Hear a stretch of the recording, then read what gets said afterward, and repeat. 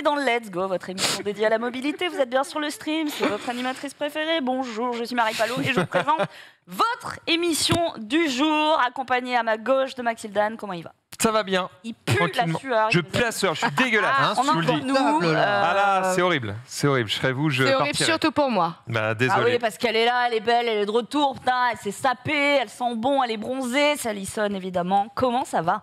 Bah, contente de vous retrouver, ça y Ouais, jusqu'à il y a encore 5 minutes. est. voilà, exactement. Et puis là, retour de vacances, donc en pleine forme, et j'ai plein de beaux sujets du coup à vous raconter. Beaucoup de choses à nous montrer. J'ai vu ça. oui. Conducteur en face de toi, il a les cheveux gras, il le revendique très fort. C'est Ken Bogard.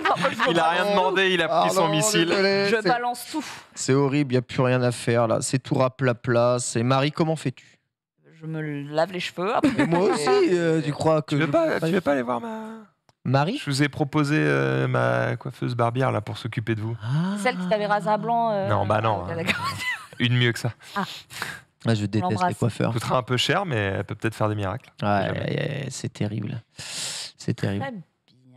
Désolé, hein. l'intro. Désolé, je, je vais essayer de bien me tenir, Marie. C'est Non, promis. mais je suis très très contente de vous retrouver. On a pas mal de choses à se dire et on va commencer tout de suite après un jingle puisque ce sont les news.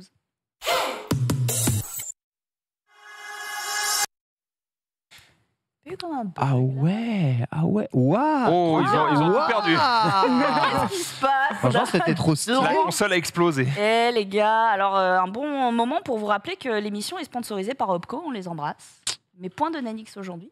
Mm. Point de... Il sera un peu là, il sera un peu avec nous. Il sera Vous allez le voir, il sera avec nous quand même. Par la pensée, par des... Oh, par par, euh, par les sujets. de parler sur oui, Très bien. On va commencer par un sujet rapidement. Le week-end dernier n'avait pas eu lieu euh, eh bien, le Grand Prix de Russie puisqu'il a été annulé. Donc le prochain rendez-vous, c'est dimanche. Euh, les premières séances d'essais libres du Grand Prix de Singapour ont, lieu, ont eu lieu aujourd'hui, une à midi et une à 15h. Euh, on a, je crois, les résultats de la première séance d'essais libres et clairement, Hamilton euh, s'est assis à table. Mais Il a non. rappelé à tout le monde que c'était Sérieux boss. Et ouais. Voilà, Voilà. il a réalisé juste le meilleur temps euh, Eh ben. de cette séance. Il était temps Ça veut rien dire, mais, euh, mais, mais, mais, voilà, ce Grand Prix de Singapour qui euh, représente la 17e manche du championnat euh, du monde aura donc lieu dimanche. Demain, troisième séance, euh, les qualifications. Donc on attend euh, un petit peu de tout ça. Quoi dire de plus? Il y aura une livrée spéciale de McLaren. Je sais pas si vous l'avez vu. Elle est stylée. Oh bordel Quoi? Ah, y a... toi t'aimes pas? Ah ben c'est... J'aime bien. moi.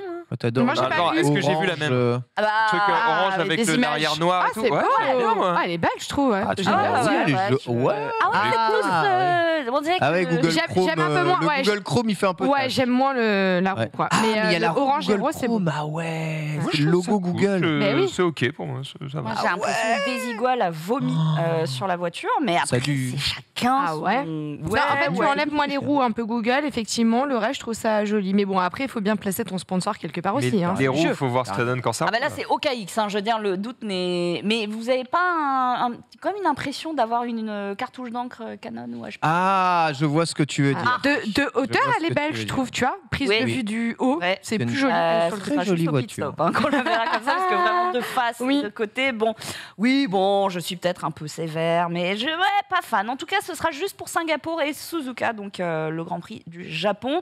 Euh, une volonté artistique de mettre en avant, euh, je cite, les nouvelles technologies, euh, des illustrations de moteurs dynamiques inspirés du cyberpunk, un design effervescent avec un regard vers l'avenir inspiré de paysages urbains de À la Ah. moitié de la phrase, t'as envie de lui dire ta gueule. entre tradition et moderne. Ah Ouais, ouais. bon, bref, bref. Mais en tout cas, euh, ils essayent des trucs et cette campagne a un nom puisqu'elle s'appelle Future Mode et elle souligne ce partenariat donc entre McLaren et OKX. On n'est pas très fan de ce côté de la table, mais peut-être que vous, oui. Écoute, moi j'aime bien, à part le logo Google. Par Ouais, contre. pareil. C'est un peu intrusif, mais je trouve que c'est une jolie voiture.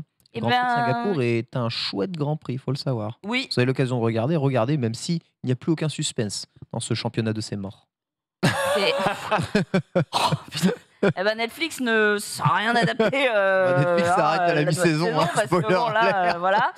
Euh, juste, voilà, si vous kiffez ce, ce skin, vous pourrez le retrouver dans euh, le jeu hein, euh, F1 2022, puisque avec une petite mise à jour gratuite, vous pourrez effectivement utiliser cette livrée spéciale. Côté Ricardo, on s'en était parlé, on ne savait pas trop encore euh, bah, s'il avait un baquet pour l'année prochaine. Euh, spoiler, c'est toujours la même situation. hein. Euh, Les places sont chères en F1, vous le savez.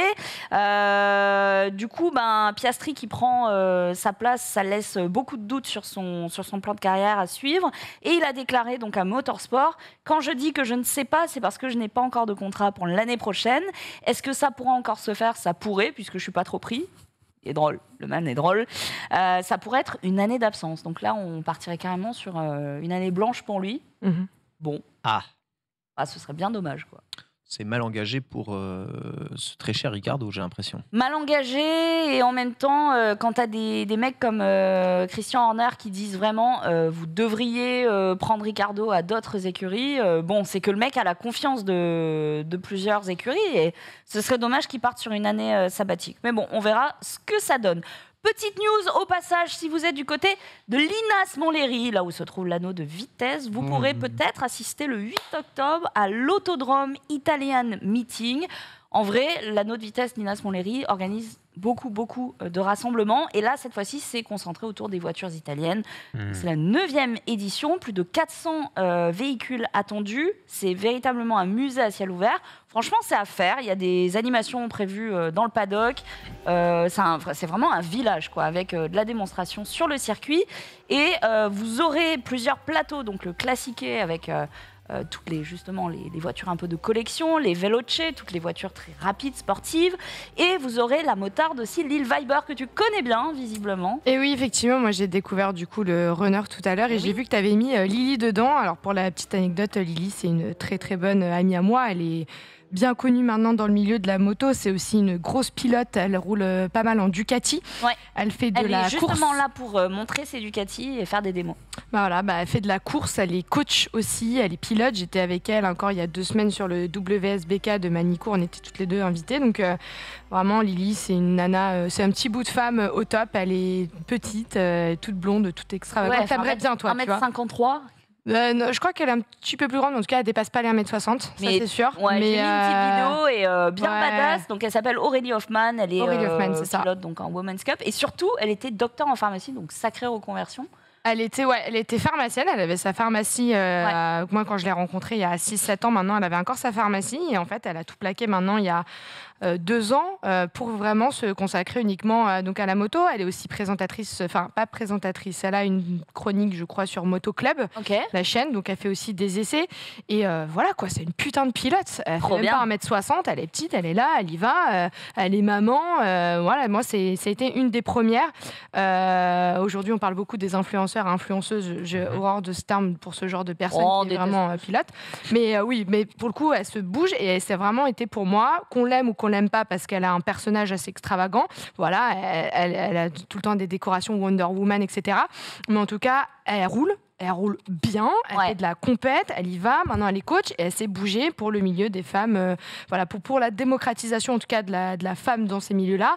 Et pour ce qui est aussi de la femme sur circuit, pour moi, elle fait partie aujourd'hui des femmes qui, au-delà d'être une amie, sont des femmes que j'admire, en tout cas en moto. Mhm. Donc, euh, je, voilà, je peux que Attends, dire du bien d'Aurélie. C'est Vous vraiment nous une l'amener, euh, Aurélie Hoffman, euh, sur ce plateau. Bah, en tout cas, Ouais, je vous la ramènerai avec grand plaisir. Le que ça- 8 ça, me tient à cœur. Bah, franchement, euh, on a hâte de découvrir ce parcours euh, ouais, qui est fait de- d'équitation, de, pharmacie, de moto. C'est c'est vraiment beaucoup, beaucoup de Touche à facettes ouais. c'est intéressant.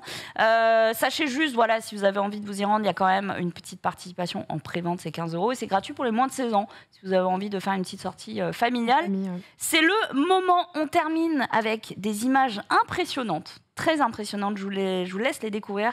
Denis, si tu veux bien euh, lancer. On est sur un bateau au large de Calvi, donc en Haute-Corse. Très bien. Ça se passe ce mois-ci, début septembre, et un important nombre de cachalots s'est regroupé à un endroit. À votre avis, qu'est-ce qui s'est passé? Waouh. Là. Ouais, c'était quand ça? C'était euh, il y a quelques jours. Ok. euh, Ah, Il y a une essence. C'est horrible. ouais. Non, non, je vois du sang là. Ah bon? Ben non, c'est une bonne nouvelle. Sachez que c'est une très C'est bonne une naissance. Ah, d'accord. Exactement. Vas-y d'abord. La naissance de deux petits qui euh, ont créé cet attroupement de cachalots donc euh, au large de la Haute-Corse. Et le capitaine du navire a utilisé son drone pour capter euh, un Ah, événement génial. qui est très rare. Il a diffusé ça euh, sur les réseaux sociaux. Ça a été largement repris.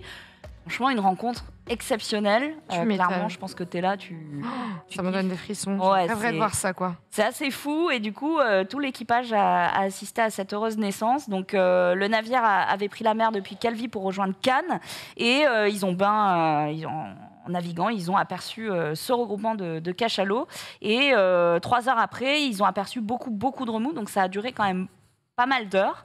Et, euh, et donc, ils ont l'habitude de croiser des, chacalots, euh, des cachalots. Pardon. Des chacalots. La fatigue, un autre type. le week-end, des cachalots. à ce C'est l'évolution. moment-là, Voilà, mais, euh, mais du coup, ils ont quand même compris qu'il se passait quelque chose d'assez exceptionnel et euh, au terme de. euh, d'une certaine heure, eh bien, la vingtaine de cachalots se dissipant, ils ont pu apercevoir donc ces petits, un moment extrêmement rare euh, qui ont été euh, d'ailleurs euh, rares parce que de la part aussi des, des chercheurs qui disent que c'est c'est quand même assez exceptionnel. Et euh, sachez, pour l'info, les bébés mesurent déjà 3 mètres à la naissance. Ah ouais. Rien que ça. Voilà, ces petits, euh, ces C'est petits des morceaux. petits bébés. quoi. Des petits morceaux. euh, 15 mètres euh, âge adulte. Voilà, c'est impressionnant. Et euh, le sang que vous voyez, c'est le placenta. D'accord. Vous voulez d'autres détails ou pas? Ça ressemble un peu à de la viande. Euh, Ouais. d'ailleurs, vous pouvez voir le mien, une photo. Dégueulasse. On arrête avec euh, ces images du jour et on passe à la suite. Il s'agit de l'actu de la semaine. Et Maserati se lance dans l'électrique Ken. Tout à fait. Alors, ils l'avaient annoncé euh, un petit peu avant, mais ils viennent de publier euh, les toutes premières photos de leur tout nouveau modèle. Ça s'appelle la Folgore, à savoir euh, éclair, il me semble, en, en italien. Italien. Folgore, comment on dit euh, Folgore. La Folgore.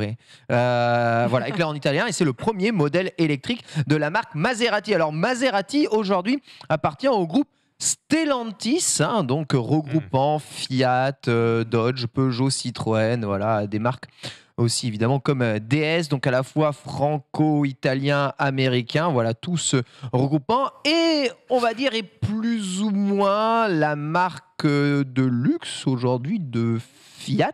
Et vous savez, Fiat s'est lancé dans la transition électrique relativement tôt avec leur fameuse Fiat 500i qu'on avait testé ici euh, sur Let's Go. Cette voiture donc, que l'on peut voir euh, a l'air de ressembler globalement à une euh, Ghibli, euh, a montré voilà, quelques images de son intérieur et de son visuel châssis. Donc on voit un châssis unique avec des batteries au sol.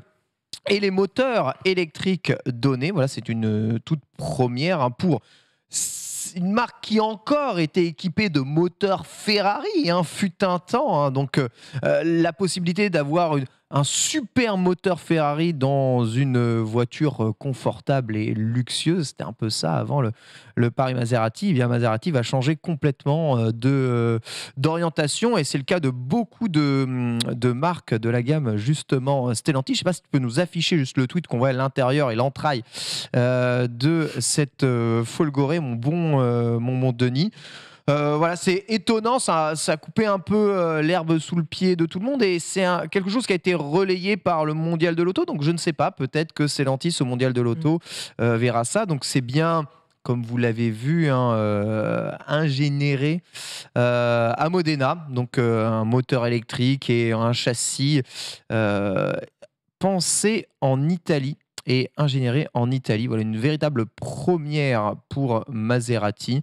Beaucoup de marques, hein, de toute façon, euh, vont euh, faire le passage, mais bon, pour euh, des marques italiennes, c'est toujours un peu, euh, un peu dur. Qui sont euh, si fans de moteurs, si fans de mécanique, si fans euh, de, de moteurs à explosion. Donc on a hâte de voir en tout cas ces premiers retours, sachant que bah, chez Fiat, les, les retours sur la Fiat 500, mis à part bon, une, adap- enfin, une habitabilité qui n'est pas non plus oufissime, parce que finalement tout le bordel euh, de moteur électrique prend quand même beaucoup de place dans le capot avant, là où on devrait libérer un peu d'espace. Euh, C'est une voiture qui marche plutôt bien, qui consomme peu, qui a une bonne autonomie. Là évidemment on va avoir quelque chose de beaucoup plus lourd, beaucoup plus massif. Et, euh, voilà, on veut quand même garder le confort Maserati et la possibilité des voitures de chauffeur, hein, les Maserati 4 portes. Donc, C'est euh, toujours rigolo comme les, les bagnoles euh, grand luxe. T'as toujours une putain d'horloge ouais. euh, en plein milieu. Ah. Et oui, c'est euh, c'est- Parce que les riches euh, n'ont pas le temps. les riches n'ont pas le temps, exactement. C'est surtout que tu contactes euh, les maisons de- d'horlogers. Et- oui, bah, bien sûr, parce que chaque marque de voiture Eh est oui. affiliée à une marque Hmm. euh, bah, de montre. Quoi. Occasion donc, euh, Une belle montre, quoi. Vous voulez l'heure ou pas? Bon. Euh, oui, De quoi? Sachant parce qu'on se dit bon, un, un voiture, une voiture pardon de cette euh, cette prestance-là, est-ce qu'il y a du son euh, avec un moteur euh, électrique? Parce qu'il y a eu des tests qui ont été faits euh, notamment par Automoto. Et euh, bah forcément quand tu es passager, tu te dis euh, oui, bon, il est où le son? Euh, Il faut savoir que les ingénieurs qui bossaient sur les moteurs thermiques de Maserati euh, ont œuvré justement pour avoir euh, des sons et des retours avec cette voiture électrique. Ouais, alors ça, c'est, ça reste leur, euh, leur délire. hein. Je sais, euh, pour euh, rouler pas mal derrière euh, eh bien, euh, les dernières Porsche électriques, là, parce qu'il y en a évidemment à Neuilly, parce que les gens ont les moyens de se les payer. C'est vrai que ça fait vraiment du bruit quand ça avance. Et ça fait un bruit, tu entends, c'est pas le bruit du moteur électrique. C'est vraiment un bruit euh, 100% artificiel qui rappelle quand Mm. même un peu Mm. le bruit d'un pot d'échappement et d'une voiture euh, thermique en marche. Euh, ça a son effet stylé. Bon, on fait un peu ce qu'on veut. Moi, je pense que la, la, sera un peu plus pensée comme une voiture de transport confortable, donc un peu Mhm. plus dans, dans l'idée d'une Porsche Panamera que euh, dans euh, l'idée d'une véritable sportive ultra performante. Euh, ce pourquoi le, le moteur électrique est, à mon avis, assez, assez adapté. Maintenant, c'est un premier essai. Voilà, tout est visiblement fait chez Maserati. Donc ça peut être, ça peut être une première. J'espère justement que tout ce qu'ils ont gagné avec la fusion et la création de ce groupe Stellantis va permettre, euh, on va dire, un passage comme ça de ce genre voiture à l'électrique de façon assez fluide et plutôt fiable, en utilisant Mm, toute mm. l'expérience justement euh, derrière euh, bah, la création d'automobiles euh, justement du, du groupe, qui est vraiment assez importante et qui est mondiale, puisque des États-Unis euh, à l'ensemble de l'Europe connaissent vraiment énormément de marchés, euh, le groupe Stellantis. Donc c'est plutôt cool. Hâte de voir ça. En tout cas, à mon avis, le mondial de l'auto approche. hein. Mhm. Je pense que on aura un mondial de l'auto plus que jamais euh, électrique. électrique, Ouais. c'est certain. Donc, euh, à voir euh, combien de marques vont se lancer là-dedans, à quel prix exactement, quelle technologie nous sera proposée Mm. et quelle vision de l'électrique euh, sera proposée par, par les, par les euh, constructeurs. Sachant que quand on allait au mondial de l'auto il y a encore quelques années, 4 ans je crois, parce qu'il n'y en avait pas eu euh, il y a quelques années, bah, c'était encore des visions un peu prototypes futuristes euh, de la voiture électrique de demain. Là, c'est la voiture électrique d'aujourd'hui qu'on veut voir chez tous ces constructeurs-là. Voilà, on sait euh, qu'il y aura plus de passe droit d'ici 2035 pour euh, les, les marques, Je même. pense pas qu'on va quand même beaucoup voir la bagnole électrique de demain, à savoir, tu sais, celle qui roule toute seule, où les, les portes elles s'ouvrent comme ça, en fait c'est un salon et il n'y a pas de volant. Tu crois pas qu'on va beaucoup voir ça aussi? Encore, franchement, ça, c'est des trucs, j'ai l'impression que ça, Ça fait des années qu'on voit fait la même des chose, années que ouais. je vois ça sur le salon de l'auto. hein. Ça m'emmerde un peu, tu vois. Après, il y a beaucoup de gens qui se plaignent aussi qu'on fasse, qu'on monte trop d'électrique. Donc, est-ce qu'ils Ouais, bah, ils ça, ont intérêt à montrer ouais. que ça? Est-ce qu'ils sauraient pas Enfin, je sais pas. Il y a un petit regain euh, aussi. euh, Enfin, régulièrement, on voit des annonces de euh, ah, un, un moteur thermique avec des vitesses manuelles et enfin ouais, de, faire vraie- exprès de dire attends, on va, vraie on va les emmerder encore un petit peu. ouais. On va, on va continuer à sortir un peu des bagnoles euh, comme à l'ancienne. Je pense que de toute façon, il y en- il y en aura toujours pour tous les goûts, mais ça dépend à peu près les, les budgets euh, que, que vous allouez aussi avec vos voitures. Il n'y a pas que des marques. Enfin, ça Ouais. très cher encore les voitures Ouais. électriques. Et là, on parle de Maserati, donc c'est des bagnoles, elles vont coûter 100 000 balles euh, minimum. Donc Ouais. euh, voilà. sûr. C'est Enfin, ça- c'est Ça, pas. ça- ça exclut beaucoup Voilà, de monde. Ça exclut pas mal de monde généralement là-dessus. Mais oui, bah écoutez, euh, euh, les constructeurs de toute façon sont forcés, que vous pensez que ce soit une bonne chose ou une mauvaise chose, euh, ils sont obligés d'y passer. Et 2035, je ne veux pas dire que c'est demain, mais fait, dans quasiment 10 ans, euh, oui, non, il faut, il faut déjà travailler sur les modèles qui vont euh, être présents avant 10 ans. C'est pas en 2035, euh, voilà, il faut sortir ton modèle. Non, c'est avant ça. Il faut qu'il y ait des modèles déjà euh, crédibles et cohérents dans, dans les gammes. Donc euh, d'ici la fin des années 2020, euh, va falloir quand même avoir des modèles électriques qui soient euh, à la fois fiables chez tous les constructeurs Mm. et euh, commencent à être de plus en plus abordables. Donc voilà, il y a Mhm. plusieurs visions. Max Max nous parlera de la vision de Citroën euh, de, de la voiture électrique assez rigolotes, mais euh, qui sont un peu à contre-pied de, hein. de tout. Voilà. Bah, Oli. Là, on reste dans le Mm. classicisme. Yeah. Bah, en tout cas, le classicisme, mais qui va lentement et sûrement vers une nouvelle évolution. Pour le rappel, Maserati, ça a été fondé en 1914 et le logo n'a jamais changé en 108 ans. C'est Ouais, le, le fameux trident de Neptune euh, que l'on trouve à, En même temps, il est cool. Euh, il est Ouais, très très cool. Sur la statue de, de Neptune, sur une place de Bologne, où les fondateurs eh bien, de, de Maserati euh, ont créé ce logo qui parfois se teinte de bleu et de rouge comme aux couleurs de la ville. Voilà pour la petite Ah, merci pour cette Oui. petite anecdote, Marie. Ça vous adore. régale, je sais. Bienvenue dans. Let's Go pour ceux qui nous rejoignent. Tant qu'on parle de Maxildan et de la Citroën Oli, j'ai bien envie qu'on passe dessus direct directement qu'on ait euh, deux salles, deux ambiances. Bah, effectivement, c'est deux salles, deux ambiances. Alors, Yes. je t'ai mis un lien avec les, la galerie d'images pour que tu puisses euh, nous afficher ça un petit peu. Mais effectivement, Citroën euh, présente une, une autre vision euh, de l'électrique. En gros, l'idée, c'est de proposer un véhicule euh, sur lequel ils ont fait des choix drastiques pour notamment consommer le moins possible.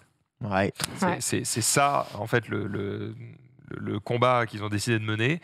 C'est ça doit consommer le moins possible. Alors, euh, je, Je lève les yeux, je- Enfin, je- je- Voilà. instinctivement parlant, je me dis que ce bordel consomme énormément. C'est une multiplan Lego, ça. Je vois, je vois Alors- une prise au vent énorme, je vois un truc qui Ouais. semble être lourd. euh, Je comprends pas comment Ouais. ça, ça peut, consommer. Eh bien, on va donner des réponses. On va donner des réponses S'il vous tout plaît. de suite. Euh, alors, ici, on essaye d'atteindre la consommation de 10 kWh Ok. pour parcourir 100 km. 2 kWh, ok. En général, on est plutôt sur, euh, je sais pas, moi, je dois être à Oui, une vingtaine. Tu disais peu plus, 19, euh, euh, voilà, quelque chose comme ça. Donc, effectivement, on va essayer de consommer deux fois moins que la plupart des véhicules électriques euh, actuels. Et comment est-ce qu'on va réussir à faire ça? Je vous laisse tenter des propositions si vous avez. Il faut, faut réduire le poids du véhicule. C'est le premier truc à faire. Eh ben, tu as la réponse. Donc, je ne vais pas vous faire, euh, je vais pas vous faire euh, attendre plus longtemps. Effectivement, on va gagner du poids. En fait, on va gagner beaucoup, beaucoup de poids. Euh, ici, ce véhicule pèse une tonne. Oh Ok. Une Donc, ça a l'air Pour lourd. un Il véhicule électrique. hein. lourd. Pour un véhicule électrique, c'est pas si lourd, Mhm. puisque la plupart font plutôt deux. Donc, euh, bah voilà, comment tu consommes deux fois moins bah, C'est aussi en étant deux fois moins lourd.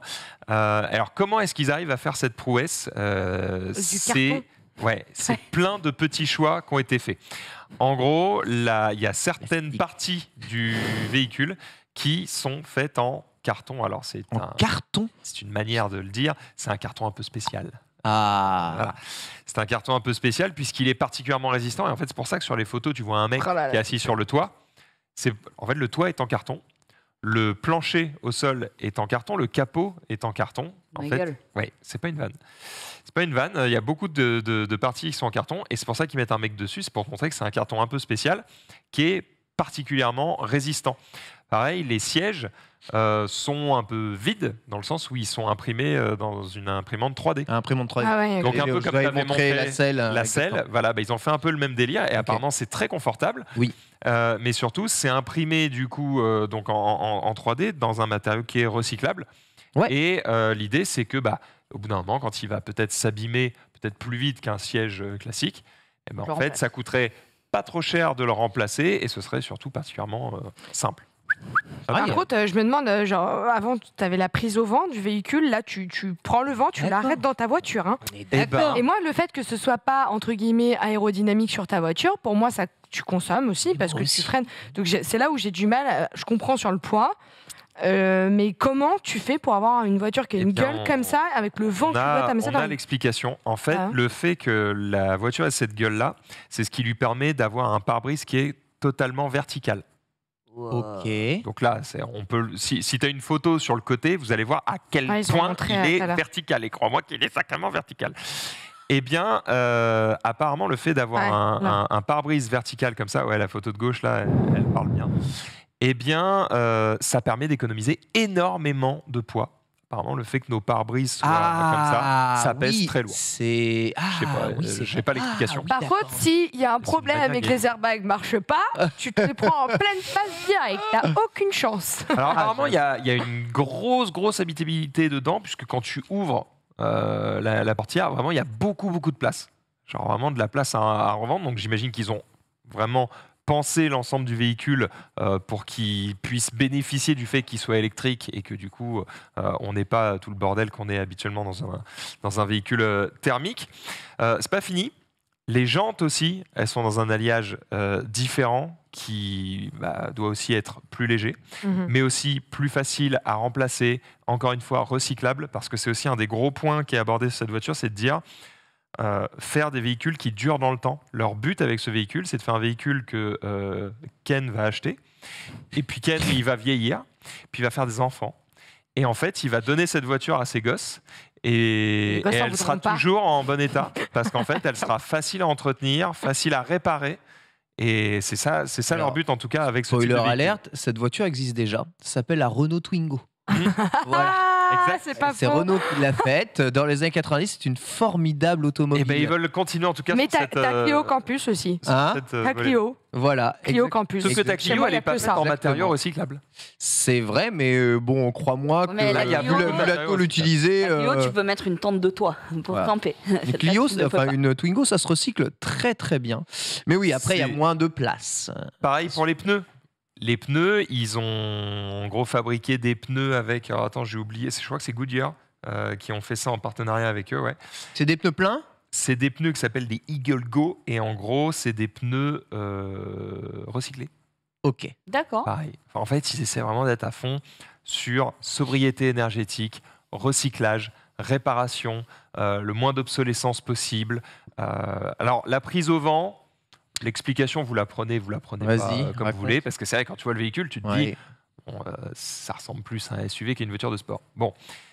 Euh, en fait, au niveau des phares, si tu peux montrer une photo de l'avant, bon, les phares sont un peu dégueux, c'est un genre de C. Léger. Il n'y a pas que les phares euh, Voilà. Et Hein. en fait, tu vois, au centre des phares, il y, y a un trou, il y a un renfoncement. D'accord. Et ben, c'est le, le but, c'est justement de faire passer l'air par là. D'accord, ok. Ah, ils ont, par contre, ils ont vraiment pensé à tout. Hein. que T'aimes ou que t'aimes pas, c'est-à-dire qu'ils sont allés euh, dans Oui. l'optimisation C'est une pépite d'ingénierie. De ils- ce qu'ils voulaient faire. le but, Ouais. c'est vraiment d'être, euh, euh, j'allais dire euh, subversif, c'est pas vraiment le, le mot, mais euh, Audacieux. audacieux, voilà, c'est vraiment de casser avec ce qui se fait euh, Ouais. actuellement. Et ben, moi je trouve ça bien qu'ils aillent au bout de la démarche parce que avoir le cul entre deux chaises et dire ah on innove mais bon euh, ça ressemble quand même à une BM, euh, bon bah super, euh, au final on innove zéro quoi. Là au moins ils vont au bout de l'idée. Euh, bah, c'est pas la première fois, hein, la Citroën Ami déjà La c'était Ami. une sacrée tentative. C'est une sacrée tentative. hein. M- moi je trouve ça bien qu'ils essayent des trucs. euh, Ah ouais. donc Oui, par j'ai contre, pas c'est trop vrai envie de leur qu'il crier n'y a que ceux qui beau, essayent mais- pas qui qui n'y arriveront pas. Et en Oui. vrai, je trouve pas ça. Je suis, je suis peut-être le seul, mais je trouve pas ça si mauvais. C'est un moi, concept trouve de ça, par car. contre, Un concept de car là. C'est un concept de car. On n'est pas sur un, un produit euh, qui va se retrouver en quoi, vente euh, ou de série, non? Mhm, mhm. Ah, après, on ne sait pas. hein. En Ah tout ouais. cas, euh, les C'est vrai gens, que euh, moi, ma- ils ont sorti la Ami, je me dis. On n'a tout- pas le tout prix, possible, voilà. euh, donc, Donc, effectivement, pour le moment, ouais, c'est toujours concept. compliqué. Mais euh, a priori, des discussions qu'ils ont pu avoir avec les journalistes, euh, l'objectif, c'est quand Oui, même de distribuer le SUV, euh, véhicule ouais. à un prix très bas. Ok, bah, ça justement c'est bien. Réduire le prix des matériaux, augmenter leur capacité à être recyclés, à faciliter la réparation euh, automobile, etc., etc. Il y a plein de bonnes idées évidemment là-dedans. Mm, mm. Maintenant, si leur but c'est de consommer le moins possible, je, je suis persuadé qu'une voiture ne doit pas ressembler à ça. Mais très bien, ok. Dernière chose, on peut parler un petit peu de performance. Oh, on attend. Su- Pareil sur les véhicules électriques, la- le fait de pouvoir recharger très rapidement, euh, ça demande des modules qui sont particulièrement lourds. C'est vrai, ça c'est vrai. Et donc, bah, ils ont fait le choix de dire, eh ben, Bah vu qu'on va mettre une petite, vu qu'elle consomme peu, bah, en fait, on va mettre une batterie plus petite. Ouais. Et vu qu'on a une batterie plus petite, eh ben, vous avez moins besoin de la recharger vite. Donc, ils ont fait le choix d'avoir. Alors, je vais te donner exactement, euh, je vais te donner exactement les termes. Euh, ils vont mettre une batterie dedans de, euh, ouais, c'est ça, 40 kWh. Donc, une autonomie de 400 km. Ouais, une logique avec ce qu'ils annoncent. Du mais coup. qui se recharge entre. mais qui se 20 et recharge en 80%. 23 minutes pour 80% de la batterie. Ouais, c'est ça. Ça reste rapide. C'est Ouais, c'est oui, correct, c'est hein. correct. Ah oui, bah. mais, oui, mais pour une si petite batterie, Oui, euh, tout à fait. euh, j'imagine que dans ta Tesla, euh, tu la recharges en euh, 10 minutes ou, ou 15. Donc euh, ça ouais. fait quand même un petit peu chier de rallonger le temps. En même 10 temps, c'est c'est des choix qu'ils ont. Non, mais tu mets plus de temps parce qu'elle est plus grosse, la batterie. Je veux dire, pour recharger la même capacité de batterie, sur une voiture qui peut recharger plus vite. Parce que là, ça en gros, pas. 23 tu, minutes, tu ça me choque recharges pas. à, en- à- ouais, c'est ça, 80 kW. Après, on a Là où euh, une Tesla peut monter à 250. Et du coup, ça te Attends, tu recharges 23 minutes et ça te permet de parcourir combien de kilomètres après? C'est 80%, donc 400 300 moins- km. moins 400 théoriques. Ah oui. Donc, j'ai envie de te dire Oui. plutôt 250-300. Ok. Ne Ça veut mentons dire que pas. tous les 250 km, on va dire que tu t'arrêtes faire une Ok. pause C'est ce que je café fais. toilette, quoi. C'est ce que je fais. hein. C'est Moi, moi, je fais, fais- pas- c'est l'automie que j'ai avec un véhicule qui a C'est pas 3 déconnant. ans et, et qui était. En fait, le- en le- consommant deux fois moins, avec une batterie deux fois moins grande, il fait Et la un même véhicule distance qui que. sera a priori accessible, donc euh, Ouais. ça s'entend. Pourquoi Après, là, on parle pas de niveau de performance aussi. Alors, performance, Tesla Model vitesse 3. maximum 110 km. 110, voilà. Bon, Normal. voilà. Donc on Ça, est c'est normal. Ça, c'est dit, hein. Au moins, les, termes, voilà. Euh, Les voilà. termes sont dits. Mais, Mais, en même temps, tu regardes. cette, cette vision, pour moi, c'est la vraie vision Ouais. du véhicule de, de, de l'avenir. Tu, vois, tu, tu- C'est-à-dire, tu regardes les, les- tu vois, les, les notes du site où ils disent OK, bah, qu'est-ce qu'on en pense en termes d'habitabilité, de consommation, euh, le prix, le confort. Bah, en fait, tout est pas mal. Et effectivement, bah, performance, tenue de route à chier, mais on s'en fout. Ça roule à deux à l'heure. Euh, c'est fait pour rouler en ville, faire un peu d'autoroute vite zef, mais tu vois, le, Ouais. le- le but, c'est pas d'être commercial et de faire, euh, et de faire Paris-Marseille euh, tous les jours. Mais Justement, si la mobilité est plutôt axée pour les villes, les périphéries et des petits trajets euh, quotidiens, je comprends pas pourquoi ça ressemble à un SUV en fait. Parce qu'ils veulent en faire tes une courses, tes gamins, Ah oui. euh, et ça Et- doit être familial. Tu peux réduire encore la taille de la voiture, t'es pas obligé de la surélever aussi. Peut-être Enfin, que leur but, c'est est de prendre la poussette et de la mettre direct dedans comme ça. Ouais, L'argument, quand même, pour une famille, c'est visuellement la taille, quoi. Que. Ah, ils veulent de l'espace. Bah oui, vol de l'espace. fatigue. Les enfants Ken, fatigués. Euh, concernant le logo, parce que quelqu'un disait le logo a pris cher, ça faisait euh, bah ouais 103 ans euh, d'histoire et le logo avait déjà évolué, hein, Ouais. plein plein plein plein plein. Ouais, c'est leur nouveau logo là. Voilà, un nouveau logo euh, qui a été présenté avec euh, bah, ce concept car et euh, qui sera présent sur tous les nouveaux véhicules et Yes. produits à venir en 2023. Peugeot change de logo. Pas dégueu, hein Ouais, non, Bah en fait, c'est leur vieux, c'est leur ancien logo. Pas dégueu. Et il est tout plat. Si tu regardes le nouveau logo Renault, il est aussi euh, tout plat. C'est Ah ouais. full flat et il ressemble aussi à un vieux logo euh, de Renault. Mais il est moins ovale que celui de 1919. Yes. Hmm. Mais euh, on a un côté un petit peu rétro qui est, qui est cool. Moi, perso, euh, bon, je préfère le trident de Maserati, mais euh, je crache Oui, pas sur ce le logo euh, Citroën, quoi. C'est pas. Non, mais le logo est pas mal. Ça va, c'est dégueulasse. Enfin, ouais. En tout cas, c'est vrai que Citroën sont, Ça, ça fait sont pas rêver. je tente le plus Ouais, de trucs, il hein. me, ouais, Ça m'inspire. C'est fait, comme Renault, euh, quoi, ça m'inspire. Par contre, les nouveaux, euh, les nouveaux, euh, les, même les nouvelles Peugeot, je les trouve. euh, hein. le logo, euh, Ouais. franchement, tu les vois passer, tu fais putain, il y a pris ouais. un, il a Ouais, pris un, ouais. C'est un bon gros hein. logo comme Ouais. ça, tête de lion. Franchement, j'aime bien aussi. hein. C'est bien premium, quoi. Napoléon, là, ouais. Non, Eh mais bien, franchement, je les trouve vraiment belles, hein, les nouvelles Peugeot. Je serais curieuse de, les découvrir un peu plus par l'intérieur. finalement, ce, ce- logo-là, Citroën, qu'on trouve pas sexy, Ouais. je trouve qu'il. En fait, il fonctionne avec l'image il va qu'ils essaient la de se voiture donner. pas sexy. La voiture est pas sexy, le Ouais. logo non plus. Bah, mais en même temps, ouais. c'est parce qu'on n'essaie pas de faire des voitures de sport, tu vois. Pour vous, c'est quoi euh, le plus joli logo de voiture? Peugeot J'aime trop, moi. Enfin, je Ah, Toutes quand les on- voitures, Quand hein. on voyait le lion et tout, je trouvais ça assez De cool. toutes les voitures. Ah ouais. En vrai. Tesla, c'est c'est stylé, c'est Alpine, simple, c'est j'aime bien. sobre. Alpine, j'aime bien. Le logo Alpine, Alpine ouais. est joli. Moi, c'est Subaru. Putain, c'est pas sobre du tout. Ah ouais, les étoiles bleues. euh, Les étoiles, là. étoiles bleues, Je parlais de Maserati Joli. tout à l'heure. euh, Le logo Ah, Maserati, il est cool, est hein. propre. Je crois que le Ferrari, je déteste, par exemple. La Ferrari, c'est ouais, c'est pas Ouais, très c'est beau. un peu kitsch. C'est vieillot, quoi. un vieux yogo d'aviateur. Ah non, c'était quoi? C'était PGO aussi, j'aimais bien. PGO. PGO. Peugeot, ça ressemble à quoi, à quoi, ça? PGO, j'aimais bien. PGO PGO C'est bien ça, un PGO, les petites voitures là. PGO je crois que c'est français, attends, PGO voiture. Comment il est ce logo? Non, parce que la voiture, elle est canon. C'est des petites c'est voitures françaises, ça, je, je ne m'abuse. Et le logo. Jaguar, il y a un logo euh, subtil, j'avoue. C'est vrai. J'aime bien. Ouais, PGO, j'aime bien, c'est ça. Bien. Le pire, c'est Lexus, je crois. Ah, Oh merci non. pour l'ensemble des logos. Ah. Audi, je trouve ça pas mal. J'aime bien les petits ronds. Là, Ah, Subaru, toi, t'as dit? Ouais, j'aime bien. Ah Cupra, Cupra, le logo est stylé. Ah, elles c'est vrai, en ce moment. Ouais, ouais, ouais, ouais, Lexus, c'est le pire, hein, je suis vraiment désolée. euh, arrosent ce coin de table, ce là. Ce coin de table. ça va être dégueulasse, quoi. L'ancien- logo Citroën, euh, il était ok, les deux chevrons, mais Ouais. travaillés un peu en 3D là. Ah, Volkswagen, j'aime bien aussi. Dodge, Volkswagen, horrible. c'est- j'aime bien. Euh, Fiat, c'est dégueulasse. Franchement, Maser- Ford, c'est pas sexy. non plus. Maserati, c'est ce qui s'en sort le mieux là-dedans. Alfa Romeo, non. Bentley, ça claque un peu. Oui, bon, ça, s'il vous plaît. Putain, je- Corvette, ça fait trop. euh, Audi, simple, efficace. Pixar Car. Ouais. Bugatti, euh, bon bof, hein, Franchement. par rapport au prix de la bagnole. BMW, Oh, le logo, c'est, Por- le logo euh, Porsche, il est joli quand il fait premium. hein. Hmm. Ah bah là. T'as dit quoi? BMW, c'est une hélice qui tourne. Oui, c'est ça. Ouais, ça me vend pas du rêve non plus. Non, en vrai. Au non. moins, il y a une histoire. Beau aimer la marque, euh, j'aime pas du tout le logo. Non, je préfère le logo dire. Mercedes Je qui est beaucoup plus. j'aime encore moins Nissan que Lexus, tu vois, en logo. Ça fait vraiment porte-clés pour le coup, Nissan. Ah. Le, ton logo, c'est un porte-clés. Ah ouais, ouais, non mais carrément. Le logo Ah. Nissan, il est dégueulasse. Ah. Infinity, je trouve ça, je trouve ça pas mal parce qu'effectivement, tu vois une route, tu vois, dans le logo, Oh, Lincoln, c'est. un peu de gueule. En vrai, euh, en vrai. Mercedes, hein, je vais vous dire Mercedes. hein. Je le vois même pas. Mercedes, c'est Mercedes, tout à gauche. Voilà, à côté de. Ah yes, ouais. Et le Mazda, le Mazda, je l'aime bien parce qu'il me fait penser à un diadème des chevaliers du Zodiac. Oh non. J'aime Ouais. bien le logo Mazda. Putain, mais on en parle du vieux logo Nissan en bas. Nissan, Ouais, euh, Pourri, on dirait un truc de Ricard, mais Ah en là rouge, là. tu vois. De ouf. Genre, c'est horrible. Ouais, Nissan, c'est dégueu. Oh là Après, c'est peut-être un ancien logo. Hein. Ouais, oui, mais bah, t'as le, t'as le nouveau, enfin, un des nouveaux, je pense, en haut à droite. Je sais pas si ouais. c'est exactement le nouveau, mais. euh, Ah Ferrari, vous crachez dessus, mais je suis désolée.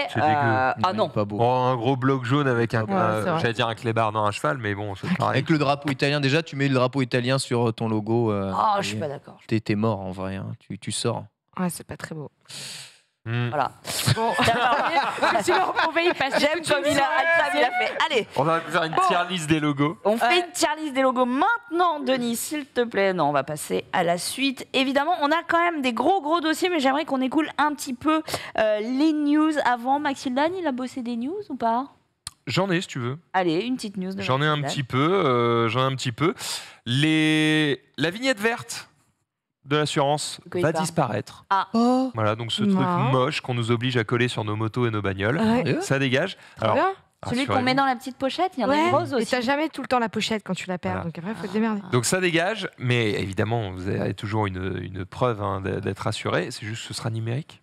Voilà. Ça Ça, va sera être numéri- ça va être numérique. Ah, très bien. Donc tout va être numérisé. Voilà, c'est c'est en passe d'être fait. Ça va prendre euh, quelques mois, un an peut-être, mais voilà. Sachez que a priori, en 2024, vous n'aurez plus de vignette sur votre bagnole. Euh, moi, par exemple, je trouve, c'est juste parce que c'est moche. Hein. J'ai pas la vignette collée sur ma moto. Je l'ai sur moi. Je, je fais Je l'ai pareil. sur moi, mais je suis en mode, je vais pas coller cette merde sur ma Je moto. l'ai dans ma carte grise, toujours sur moi quand je sors, mais je la mets pas sur la Si moto. vous l'oubliez. Bah si, non mais je Tu peux l'oublie pas pas. l'oublier, tu oublies pas ta carte grise. T'oublies quand pas tu- ton manteau, tu vois. Mais surtout, euh, si le flic m'arrête, je suis en mode, bah, Voilà. Voilà. Ah, il peut Oui, pas Du coup, du coup, il me dit rien. Si tu Il peut pas t'épingler du moment que tu présentes pas- le papier, il peut pas t'épingler en mode ça doit être collé sur le véhicule. Je crois que tant que t'as le papier, ils te disent rien. Alors, en vrai, ça m'est déjà arrivé. Ils m'ont arrêté. Ils m'ont dit euh, le papier, je l'ai montré. Ils ont fait ah, faudrait le coller, monsieur, machin. J'ai fait ouais, ouais, je vais y penser. Merci, au revoir. Ouais, je crois que c'est obligatoire aussi parce qu'ils peuvent euh, Oui, regarder hein. ta moto quand tu n'es pas dessus, donc à l'arrêt, et si elle n'est pas en norme, Ouais. euh, voilà.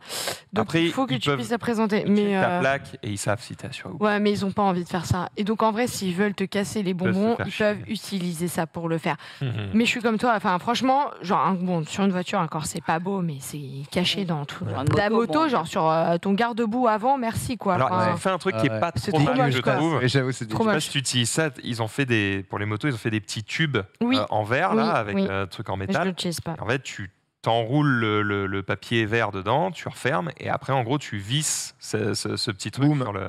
C'est Ouais, obligatoire. 35 euros, bah, je prends le risque. Voilà. En Je effet. préfère payer 35 balles que de rendre ma moto dégueulasse. Bon, en tout Mm. cas, ça, ça ne deviendra plus obligatoire une fois que ce sera numérisé, c'est ça. hein. Ah bah après, c'est- on Voilà. s'en fout. Mm, mm. Donc euh, c'est la petite, euh, petite bonne nouvelle. Ouais, c'est une Voilà, bonne nouvelle comme ça. Ça ne mange pas de on pain. aime euh, Écoute, non. on prend, on prend, très bien. euh, ça nous. Et les- les- ça le critère lui reste toujours de toute façon. La vignette critère. Bah, ce serait bien qu'ils numérisent tout. J'ai pas la réponse, j'avoue. J'ai vu que l'article pour ça, mais je pense que le but c'est de tout numériser. Pas de problème. Très bien. le but c'est que, en fait, euh, je- c'est- c'est pas en France qu'ils font ça, ça va être dans un autre pays, mais je ne sais plus lequel. Euh, je crois que c'est aux États-Unis. En fait, ils ont des caméras et ils scannent ta plaque, ils ont toutes les infos. Ils n'ont pas besoin Et de ils se font pas ça à. Paris. Il n'y a pas euh, justement bah, les voitures qui passent euh, à Paris qui peuvent voir si d'ailleurs tu as payé ou pas ton. Je pense qu'ils ont toutes les infos. C'est, c'est- je- on, on est plus sur une question de normaliser Mm. les choses et de faire en sorte que tout le monde utilise les mêmes systèmes et les mêmes codes que de dire est-ce qu'on est capable de le faire ou pas. Je pense qu'on est capable de le faire depuis un moment. hein, donc, euh. Attention, article de la dépêche en 2019, la police a désormais une arme fatale pour traquer les véhicules sans assurance. Euh, voilà.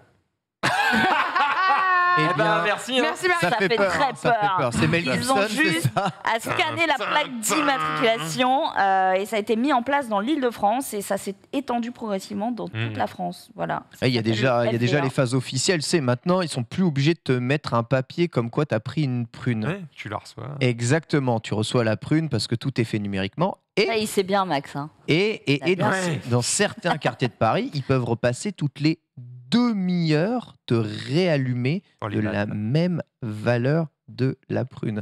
Et s'ils jouent vraiment au plus con, jamais ils embarquent le véhicule, ils repassent toutes les demi-heures si jamais t'as pas payé. Paf, Ouais, mais paf. tu Et retiens ils la alignent, ils alignent, ils alignent, ils alignent, ils alignent. retiens la Et ça- leçon, mon petit Ken. Ça, ça paie encore plus que, que de te Ils faire peuvent, euh, mais est-ce qu'ils tout à la fourrière. Quand même pas tous des bâtards, ça va. Enfin, en fin de mois, Méfie-toi de l'être humain. bizarrement, quand les quotas sont pas remplis, Moi, souvent, les tu vas voir. sont sympas avec moi. Comment vous tu faites voir que ça aligne beaucoup. Non, mais là, on parle d'un véhicule stationné au pif, qui n'a pas payé son emplacement de stationnement et qui reste là. Très rapidement, les gens se plaignent de toute façon dans le voisinage de ces voitures-là. Donc ça va vite, euh, ça va vite aligner. Mais c'est très bizarre de, de recevoir une amende alors que tu n'as aucune notification de, de, enfin, Ouais. du fait que tu te sois fait amender. quoi. Alors, pour Mm, peu mm, que l'adresse soit mal renseignée, machin, tu reçois pas l'amende. euh, bien Ne déçu. faites pas ça, ne faites pas ça. Euh, on rappelle, en cas d'infraction, si vous roulez sans assurance, comme en 2019, euh, 700 000 Français, par exemple, eh bien, vous Oh, risquez ouais, jusqu'à Ouais, 3 on en ans de parlé. suspension de permis et jusqu'à euh, presque 4 000 euros d'amende. Donc, Mais c'est rien. 4000 euros d'amende, t'es pas assuré. Tu tues un mec, tu peux pas payer. Ouais. C'est horrible.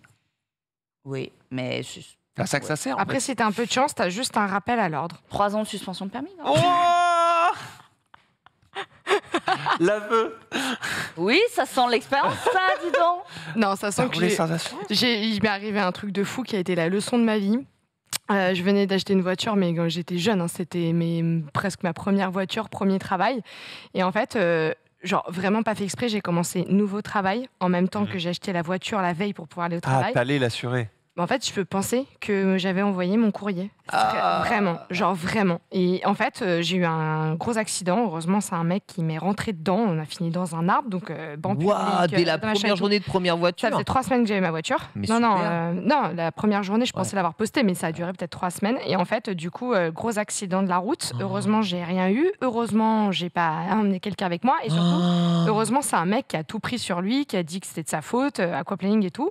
Et je me suis pris un arme en public, la voiture défoncée. Donc dans le lot, euh, moi j'ai perdu bah, la voiture que je venais d'acheter, tout. J'ai dû en plus payer, euh, repayer le banc public et l'arbre. Heureusement, le mec qui m'est rentré dedans était un blindé en Range Rover qui m'a payé le banc public et l'arbre quand même. Sympa. Parce que Sympa. voilà, Classe. sympa, mais pour le coup, bah, du coup, défaut d'assurance. Donc convocation au commissariat, etc. Et après, fait, bah, les gars, ils ont bien vu que j'étais une petite jeune, j'étais en chiale dans le bureau de la gendarmerie. Je pensais vraiment sincèrement avoir envoyé mes papiers. Je venais de perdre clairement tout l'argent d'une voiture que je venais de dépenser à une Ouais, époque où je travaillais le samedi et le dimanche en job étudiant pour me la payer, tu vois. Bon, voilà. Et euh, très sincèrement, ils ont dit euh, bon, je suis déjà au bout de ma vie et ils m'ont juste fait un rappel à l'ordre. Mais, euh, mais ouais, je, franchement, je me suis dit, euh, j'ai pris le positif de cette histoire. Je- On va je- pas lui rajouter 4000 balles. bah, J'en ai chialé parce que clairement, la voiture, je l'avais payée peut-être 6000 euros, tu vois. Enfin, c'était Ah ouais. quoi, je Ah. m'étais acheté, c'était ma première caisse, j'avais Ah 16 ouais, ans. c'est- Ouais, euh, 18 ans, pardon, de- une plus que t'as, 206, ouais. tu vois, un truc comme ça. Mais même, tu J'avais 16 ans, j'avais pas le permis. 18 ans, Putain, pardon, ouais. Putain, putain. Non, mais Ça fait 18 ans, beaucoup. tu vois, mais enfin, c'était des économies de jeunes. euh, Ah, bah, voilà, oui. et, et ça aurait pu être pire parce que aurait pu avoir un gros accident avec quelqu'un et quand tu es en défaut d'assurance, euh, voilà. Ah, c'est mal, ouais. Donc, euh, ne faites surtout. Mais ne faites pas ça, parce que comme le dit Allison en 2016, autre stat, 235 personnes ont trouvé la mort dans un accident routier impliquant un véhicule non assuré, soit Boum. 7% de la mortalité. Bah, normal. à cette époque. Normal, vu le nombre de personnes qui roulent sans assurance et sans permis. Ouais, c'est obligé. Ça, ça fait, ça fait beaucoup. Euh, Oui. 10 pour, enfin, 7%, 7%. j'arrondis, mais En 2016, hein. tu vois, presque, presque 10% des accidents euh, mortels avec des mecs pas assurés, tu te dis, tiens, tiens, c'est une Ouais, corrélation entre la dangerosité des mecs et, et- Ouais. et En le fait qu'ils 2018, respectent pas grand-chose. 31 31 000 personnes ont été impliquées dans des accidents causés par des conducteurs non couverts. Après, c'est peut-être lié aussi au fait il y a plus de jeunes qui ont des accidents. Les jeunes ont peut-être moins de thunes. Comme ils n'ont pas de thunes, ils ont peut-être moins envie de s'assurer. Enfin, tu vois, disent il y a que plein de- justement, les jeunes qui n'assurent pas Ouais. leur véhicule le font souvent au vu du coût de l'assurance. Donc Et ouais. ça concerne 27% Ouais. des moins de C'est 25 ça aussi. hein. Et puis c'est compliqué aujourd'hui, euh, entre guillemets, enfin, de comprendre tous les détails qu'il y a dans ton carrément. assurance aussi. Et il y en a du coup beaucoup qui font euh, le moins cher. Sauf que quand tu te retrouves à mais non, mais assistance 0 km, machin, etc. Mais non, mais c'était pas ce que je voulais. Et en fait, tu te rends compte qu'il y a beaucoup de gens qui sont déçus des assurances, donc ils disent bah j'en prends plus. Ouais. Et ça, c'est quelque chose dont on a parlé avec euh, mon assureur en moto. Euh, et euh, ils disent le problème, c'est qu'on se fait tout le temps taper dessus parce qu'en fait, les gens ne lisent pas ce qu'on propose. Bah oui, mais vous Ouais, proposez gars. trop de choses. Vous proposez trop de choses. Et en fait, c'est illisible, voilà. évidemment. Ah ouais, ce que je dis. Et Ouais, puis euh, même quand tu payes cher, crois-moi, euh, Au final, Ils sont pas au taquet, hein. ouais. Petites ça fait un mois que j'ai une fissure sur mon pare-brise parce que un impact et puis euh, la clim, Ouais, la clim, le chauffage, machin. N'oublie pas non, le mais j'ai eu l'impact, mais après ça, ça a grandi. L'ai pub. vu trop tard. Je l'ai vu trop tard. Et, euh, et en fait, ouais, tu fais jouer le truc. Donc, t'a- t'appelles la carrosserie, t'appelles machin. Tu, tu, tu- tu fais ce qu'il faut, quoi. Et en fait, ils communiquent pas entre eux, c'est con. Donc, ça prend 1000 ans. Et du coup, ça fait un mois que je roule avec une fissure, alors que c'est interdit hein, de rouler avec une fissure sur son pare-brise. Oui. Bon, si un Ouais. flic m'arrête, je vais dire, bah, c'est en cours. hein, j'ai les preuves que c'est en cours, mais. Tu dis comment ça peut mettre un mois de re- remplacer un pare-brise quoi C'est hallucinant Ouais, parce que juste les mecs euh, parlent pas et pourtant euh, crois-moi que je la paye l'assurance donc euh, ça casse les couilles. Il y a combien de- d'automobilistes qui roulent sans permis, t'avais dit euh, tu te- 700 000 en 2019. 700 000 en 2019, d'accord. Ça représente une- quel pourcentage euh, Me demande ça à moi, prof de maths. Ah, Je sais pas En combien France d'automobilistes en France, tu vois. Mais on dit donc 7% des accidents impliquent des gens sans permis. S'il y a 7% des De gens la qui roulent, mortalité des accidents. logique. qui roulent sans assurance, voilà, ça, voilà, c'est que tu tombes. euh, Au 1er janvier et là, 2021, le parc automobile se compose de 38,3 millions de Ouais, voitures c'est particulières, moins que ça. 5,9 millions de véhicules utilitaires légers, 600 000 poids lourds et 94 000 autobus et autocars. C'est 2% de Un petit personnes peu qui roulent sans permis à peu près. c'est ça. Mais ça dit pas le nombre de mecs qui ont des permis. quoi. Mm. Mais en même temps, parmi tous ceux qui ont des permis, il y en a qui conduisent pas non plus. Enfin, c'est go. difficile hein, de savoir combien il y a vraiment de mecs. Mm, mm, mm. Et oui, bon, en tout cas, assurez-vous, hein, si le véhicule, évidemment, euh, nécessite une assurance, faites pas les cons. Mais oui, faites Mais pas les si cons. ça saoule, c'est cher. Eh oui. Vous n'auriez pas ce problème si vous aviez un vélo. Mon regard se tourne vers Ken. Ah, c'est vrai que ça n'a pas besoin d'assurance, mais sincèrement, Oui. je suis pas loin de penser que certains vélos mériteraient d'en avoir quand même. euh, Peut-être celui-là.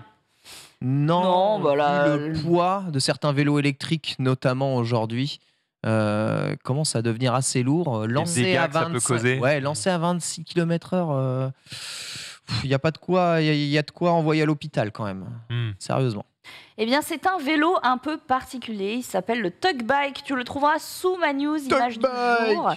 Euh, le Tug Bike, c'est un vélo pliant pleine grandeur qui comprend également un pliage. Mmh. Eh ben. Ah oui, j'ai vu ça. Pliage de roue, Attends, pardon, incroyable. quoi Ouais, vous l'avez bien vu, le Tug Bike a des roues et donc des pneus qui se replient en trois. Ça permet de créer un vélo pleine grandeur qui se replie dans la taille d'un dossier compact avec des roues et des pneus beaucoup plus petits. Comment ont-ils fait, vous demandez-vous Eh bien, l'histoire commence avec son créateur qui s'appelle Alex et qui s'inspire de sa carrière dans la fabrication euh, et l'ingénierie mobile qui comprend le travail sur la Range Rover hybride. ok Comme beaucoup de ses histoires et de ses anecdotes, en tout cas qu'il donne en, en interview, il dit qu'il voulait simplement construire un vélo pliant qu'il pouvait conduire. Euh, voilà, un truc très très rapide et très euh, compact. Euh, un vélo pliant traditionnel, mais plus, plus, plus, plus, plus. J'ai pensé à toi dans le train, par exemple. Ouais, mais ouais. alors à droite, c'est quand il est plié, c'est ça? Ouais. ouais. Ça a de la gueule à gauche. hein Bah franchement, euh, c'est un vélo qui remonte, euh, qui remonte en tout cas en termes de conception de la roue elle-même euh, en 2017. Il a monté son premier prototype euh, de roue pliante. Et honnêtement, bon, c'est pas le premier prototype de roue pliante, hein, c'est pas le premier à l'avoir fait. Revolve avait déjà lancé des roues de vélo pliantes en 2018, mais il a pris une direction un peu différente. Et il a créé plutôt, euh, enfin, ils ont pris, pardon, une direction différente, Revolve, en créant plutôt des fauteuils euh, avec des roues pliantes. Donc, euh, beaucoup, beaucoup d'années à concevoir, à chercher la meilleure solution, la meilleure optimisation pour en arriver à ce fameux Tug Bike. Donc le créateur dit que les extrémités de la jante sont en fait la partie la plus solide de la roue et que lorsqu'elles sont verrouillées ensemble, euh, elles sont encore plus solides. Alors il y a plein de photos, tu pourras trouver sur internet, où il plante carrément des kunai de Naruto dans ses pneus. Ça n'a plus de sens. Bah oui, non mais évidemment parce que ça doit être des pneus pleins euh, du coup. Mais euh, je me pose euh, une grande question sur le confort de ce genre de, de, de vélo. C'est surtout ça parce que s'il n'y a pas d'amortissement réel sur le vélo et qu'on est juste sur de l'acier pour amortir le tout dans le fion. Ouais, Ah. prend tout dans le fion. Eh quoi. oui. Donc euh, c'est Et alors après, c'est peut-être pour des personnes qui ont un usage de à peine 10 minutes, un quart d'heure et qui ont envie de replier leur vélo pour le mettre dans Bah, le à ce bureau. moment-là, il n'y a rien de mieux que le Brompton, hein, sincèrement. hein. ça se Ouais. plie en deux secondes euh, chrono éclair. C'est à, à Ouais. prouver, à doubler depuis des années. Et plutôt que de faire des grosses roues qui se plient en trois, un Brompton, tu as juste des petits trous qui de base prennent pas de place. Ça Ah prend moins de place que ce genre euh, de, de vélo-là. Et sincèrement, c'est diablement efficace hein, sur, sur la route. Là, en plus, enfin, tu as vu, tu as le système de verrouillage euh, donc, qui est en x3 Ouais, ouais, sur les faut- roues. C'est celui-là donc- Voilà, ah non. t'en- arrives à pas plier les roues parce que c'est chiant. en J'ai fait. j'ai- j'ai- voilà, j'ai l'impression qu'en fait, tu vas juste pas plier les roues. Bah oui. le Ouais. temps que ça te met. Trop euh, chiant. Bah, x3 et il y a un verrou supplémentaire au niveau du moyeu. ouais, non, mais ça- Et euh, ça veut dire qu'il faut au moins 3 des 4 pinces déverrouillées avant qu'un segment de roue puisse se dépier. ouais, voilà, on n'a pas son Euh, temps, il est gentil. Mais... Après, côté pneus, euh, comme tu disais, c'est des pneus pleins, donc il n'y a pas d'air, donc ils peuvent pas s'aplatir. Et Bah oui. c'est une technologie brevetée euh, de caoutchouc à cellules fermées, euh, ça s'appelle le GECO, et ça signifie que bah, ces pneus devraient mieux adhérer que des pneus sans air en mousse qui prétendent offrir des, des performances du coup par tous les temps. En vrai, c'est un petit bijou de technologie d'innovation, je trouvais. Après, Ouais, c'est franchement c'est sympa. Maintenant, il y a plein de textes sympas. Est-ce utile? Voilà, est-ce que ça répond à un usage? Est-ce que ça répond vraiment à un usage particulier? Y a-t-il pas euh, finalement un poil mieux? Là, on est quand même sur un sacré merdier. Excusez-moi une fois que tout est plié. Oh la vache, ouais. Donc euh, cool. Non mais tu vois, je pensais à quand Vraiment tu cool, cool, expliquais que toi tu dévissais des trucs, tu les repliais, enfin que ça prenait quelques. Moi, je retire une roue, ça me prend une seconde Ouais. et je rentre un vélo dans n'importe quelle voiture. Mais c'est euh, voilà, ça prendra quand même un peu de, un peu de place. Maintenant, oui, comme je t'ai dit, quand, quand je prends le train, si jamais il vraiment il y a un manque de place, j'ai juste à dévisser une roue et c'est. Ouais. Mais dévisser une roue, c'est tu retires l'axe, la roue elle tombe et puis hop, voilà, c'est fini. T'as dévissé la roue, ça prend une seconde. Ouais. Je dis, un, un Brompton, c'est cool. Donc oui, là, c'est de la, des pneus pleins, quoi. Mais ils sont quand même un peu, ok, ils sont quand même un peu mous, même s'ils sont, donc il y a pas, d- il y a pas d'air, euh, a pas d'air dedans. Mm, Euh, mm, c'est- mm. c'est, en vrai, ça peut être cool ce, ce, ce, ce genre de pneu. Un peu chiant, cela dit, une fois que bah, ton pneu est usé, à changer. Surtout qu'il faut, à mon avis, trouver Changer le pneu trois. propriétaire, voilà exactement, qui est en mode euh, trois bandes de pneus. Voilà, je, viens, je vois plein de problèmes à ça. Maintenant, la tech est cool. La tech est cool. euh, ils affirment que la procédure prend moins de deux minutes, peut être effectuée aussi sans outils. Euh, donc la, la technique full Monty, il y a plein de techniques différentes. hein. Vous avez vu le mec dans le métro, il a laissé les roues. Bon. Ouais, Mais ouais. là, en vérité, Bah. ça, ça, c'est des phrases à la con parce que dire ça prend moins de deux minutes. Alors déjà, ça prend moins de deux minutes. Oui, Quand pour, tu sais le faire. pour toi qui l'a fait 15 fois, euh, euh, que dis-je, euh, 150 fois. Et en réalité, vas-y là, prends un chrono, lance Ouais, et attends deux minutes. ouais, mais deux, C'est long. juste Ouais, deux minutes. Très, très deux long. minutes, c'est ultra long. Donc en fait, désolé, mais si tu me dis pas que ça prend vrai. moins de 30 secondes, ça ne m'intéresse pas. Juste, eh, voilà, bon, là on voit, de toute façon, euh, on aura fini l'émission qu'il aura monté son vélo. Est-ce que Denis, tu peux trouver montage, enfin pliage d'un Brompton? Tu vois, tu vois ce que c'est un Brompton? Tu vois comment ça s'écrit? Montre-toi et tu vas voir un Brompton, donc qui est aussi donc vraiment le vélo pliant populaire, Ouais. extrêmement cher parce que c'est ultra hipster de ouf. Là, c'est Brompton. 1700 dollars. hein. 1700 dollars, ouais, bon, c'est le prix d'un Brompton, euh, enfin c'est plus cher qu'un Brompton. Mm. Euh, un Brompton, ça prend, mais vraiment, mais 15 secondes, même Mm. pas à plier, et ça prend moins de place que ça. Alors évidemment, le vélo est un peu moins stylé parce que ça ressemble pas à un vélo euh, classique euh, au final, mais si tu arrives à trouver euh, juste euh, une, une vidéo, euh, une vidéo de, de, de- de- de pliage et de montage de Brompton. Donc voilà à quoi ressemblent les Brompton. Vous en avez très probablement déjà Ouais. croisé. Ouais. Voilà la place que ça prend un Brompton. Rien du tout, tu vois. Ouais, j'avoue. C'est très facile à transporter, très facile à déplacer, très facile à rouler. C'est relativement léger et à dévisser. Voilà Voilà, tu fini. pas à Merci, toucher- au revoir. Parce qu'il y a quelqu'un qui le dit dans le chat, les routes dégueulasses. Et oui. Euh, voilà. Mais je comprends qu'il y a un public ciblé pour ça. Par exemple, aujourd'hui, on te vend une poussette roule. en te Oui, c'est disant tout la petit, ouais. poussette se plie Mais en une seconde. Et c'est un argument que t'entends, quoi. Et regardez, t'as juste à faire un clip, tu fais vrac, vrac, et c'est fini. Tu, La vidéo est montée là. Je, Est-ce que t'as des risques de te Je t'assure, j'ai déjà, j'ai déjà replié un Brompton. Oh, ça on une fois que t'as as retiré le clips, ça se fait. En fait, c'est quasiment tu, tu soulèves et le truc, vroom, il se replie. C'est. Alison, pardon, tu disais quoi? Euh, Est-ce qu'il y a des risques? Moi, j'ai entendu des histoires de gens qui, en repliant des trottinettes électriques ou trottinettes tout court, se sont coupés une phalange. Euh, Quoi, quoi, quoi, quoi? Oui, beaucoup d'accidents de gens qui, en repliant les trottinettes, la phalange, tu vois. Euh, ouais, ouais. Et donc, euh, t'as un risque de te couper avec ça ou c'est bien étudié là? Parce que La Écoute, fiche hein, technique, c'est- ils te diront que non, mais moi, ça me fait toujours peur, ouais, ces non, trucs-là. Là, qui- si jamais- mettez vos mains au bon endroit, Ouais, je me suis jamais trop coupé avec ce genre de truc-là. Après, c'est sûr que si tu mets le doigt à l'endroit où le vélo, euh, le vélo se relie, bah Ouais, mais il y a des, il y a des voilà, histoires tu, comme ça. hein. tu dois, tu dois prendre euh, des petits flaflas. Mais après j'ai envie de te dire, quand tu fermes la portière de ta voiture, tu peux te couper le dos aussi. Voilà. À un moment, faut attends, pas moi, on m'a refermé le coffre d'un Citroën Évasion et je peux te dire, sur le petit doigt, et j'avais 12 ans. Ouais, mais je tu méritais, non. Non, mais il a pas fait gaffe et ça a rebondi. Hein. Et c'est résistant un doigt. hein. Hmm. C'est résistant. un doigt d'enfant, il aurait pu me le couper, ça a pas coupé. Hein. Bon, j'en ai, chié, hein. mais euh, j'ai les doigts noirs. Mais pour couper un doigt, faut y aller, les gars. hein. I know.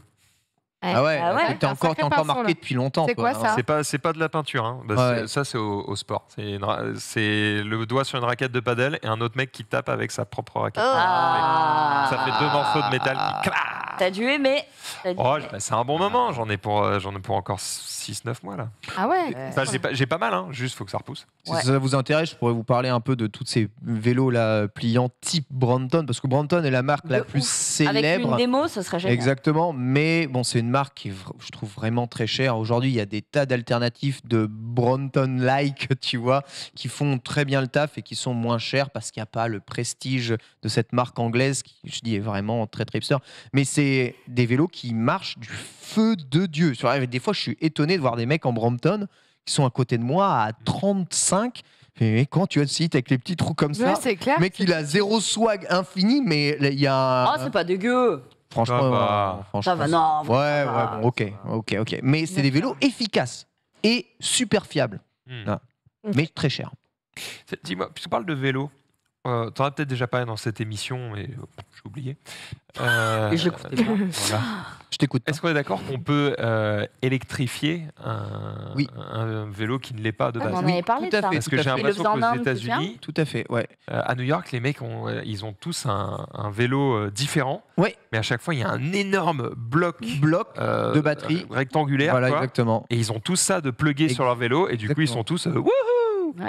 Tout à fait. Genre, peut- quand je dis tous, Aujourd'hui, Ouais. c'est quoi? C'est la marque Pure Électrique euh, qui, euh, il me semble, le plus spécialisée en Europe dans l'électrification des vélos. Ça se fait, en effet, très bien. Tu peux.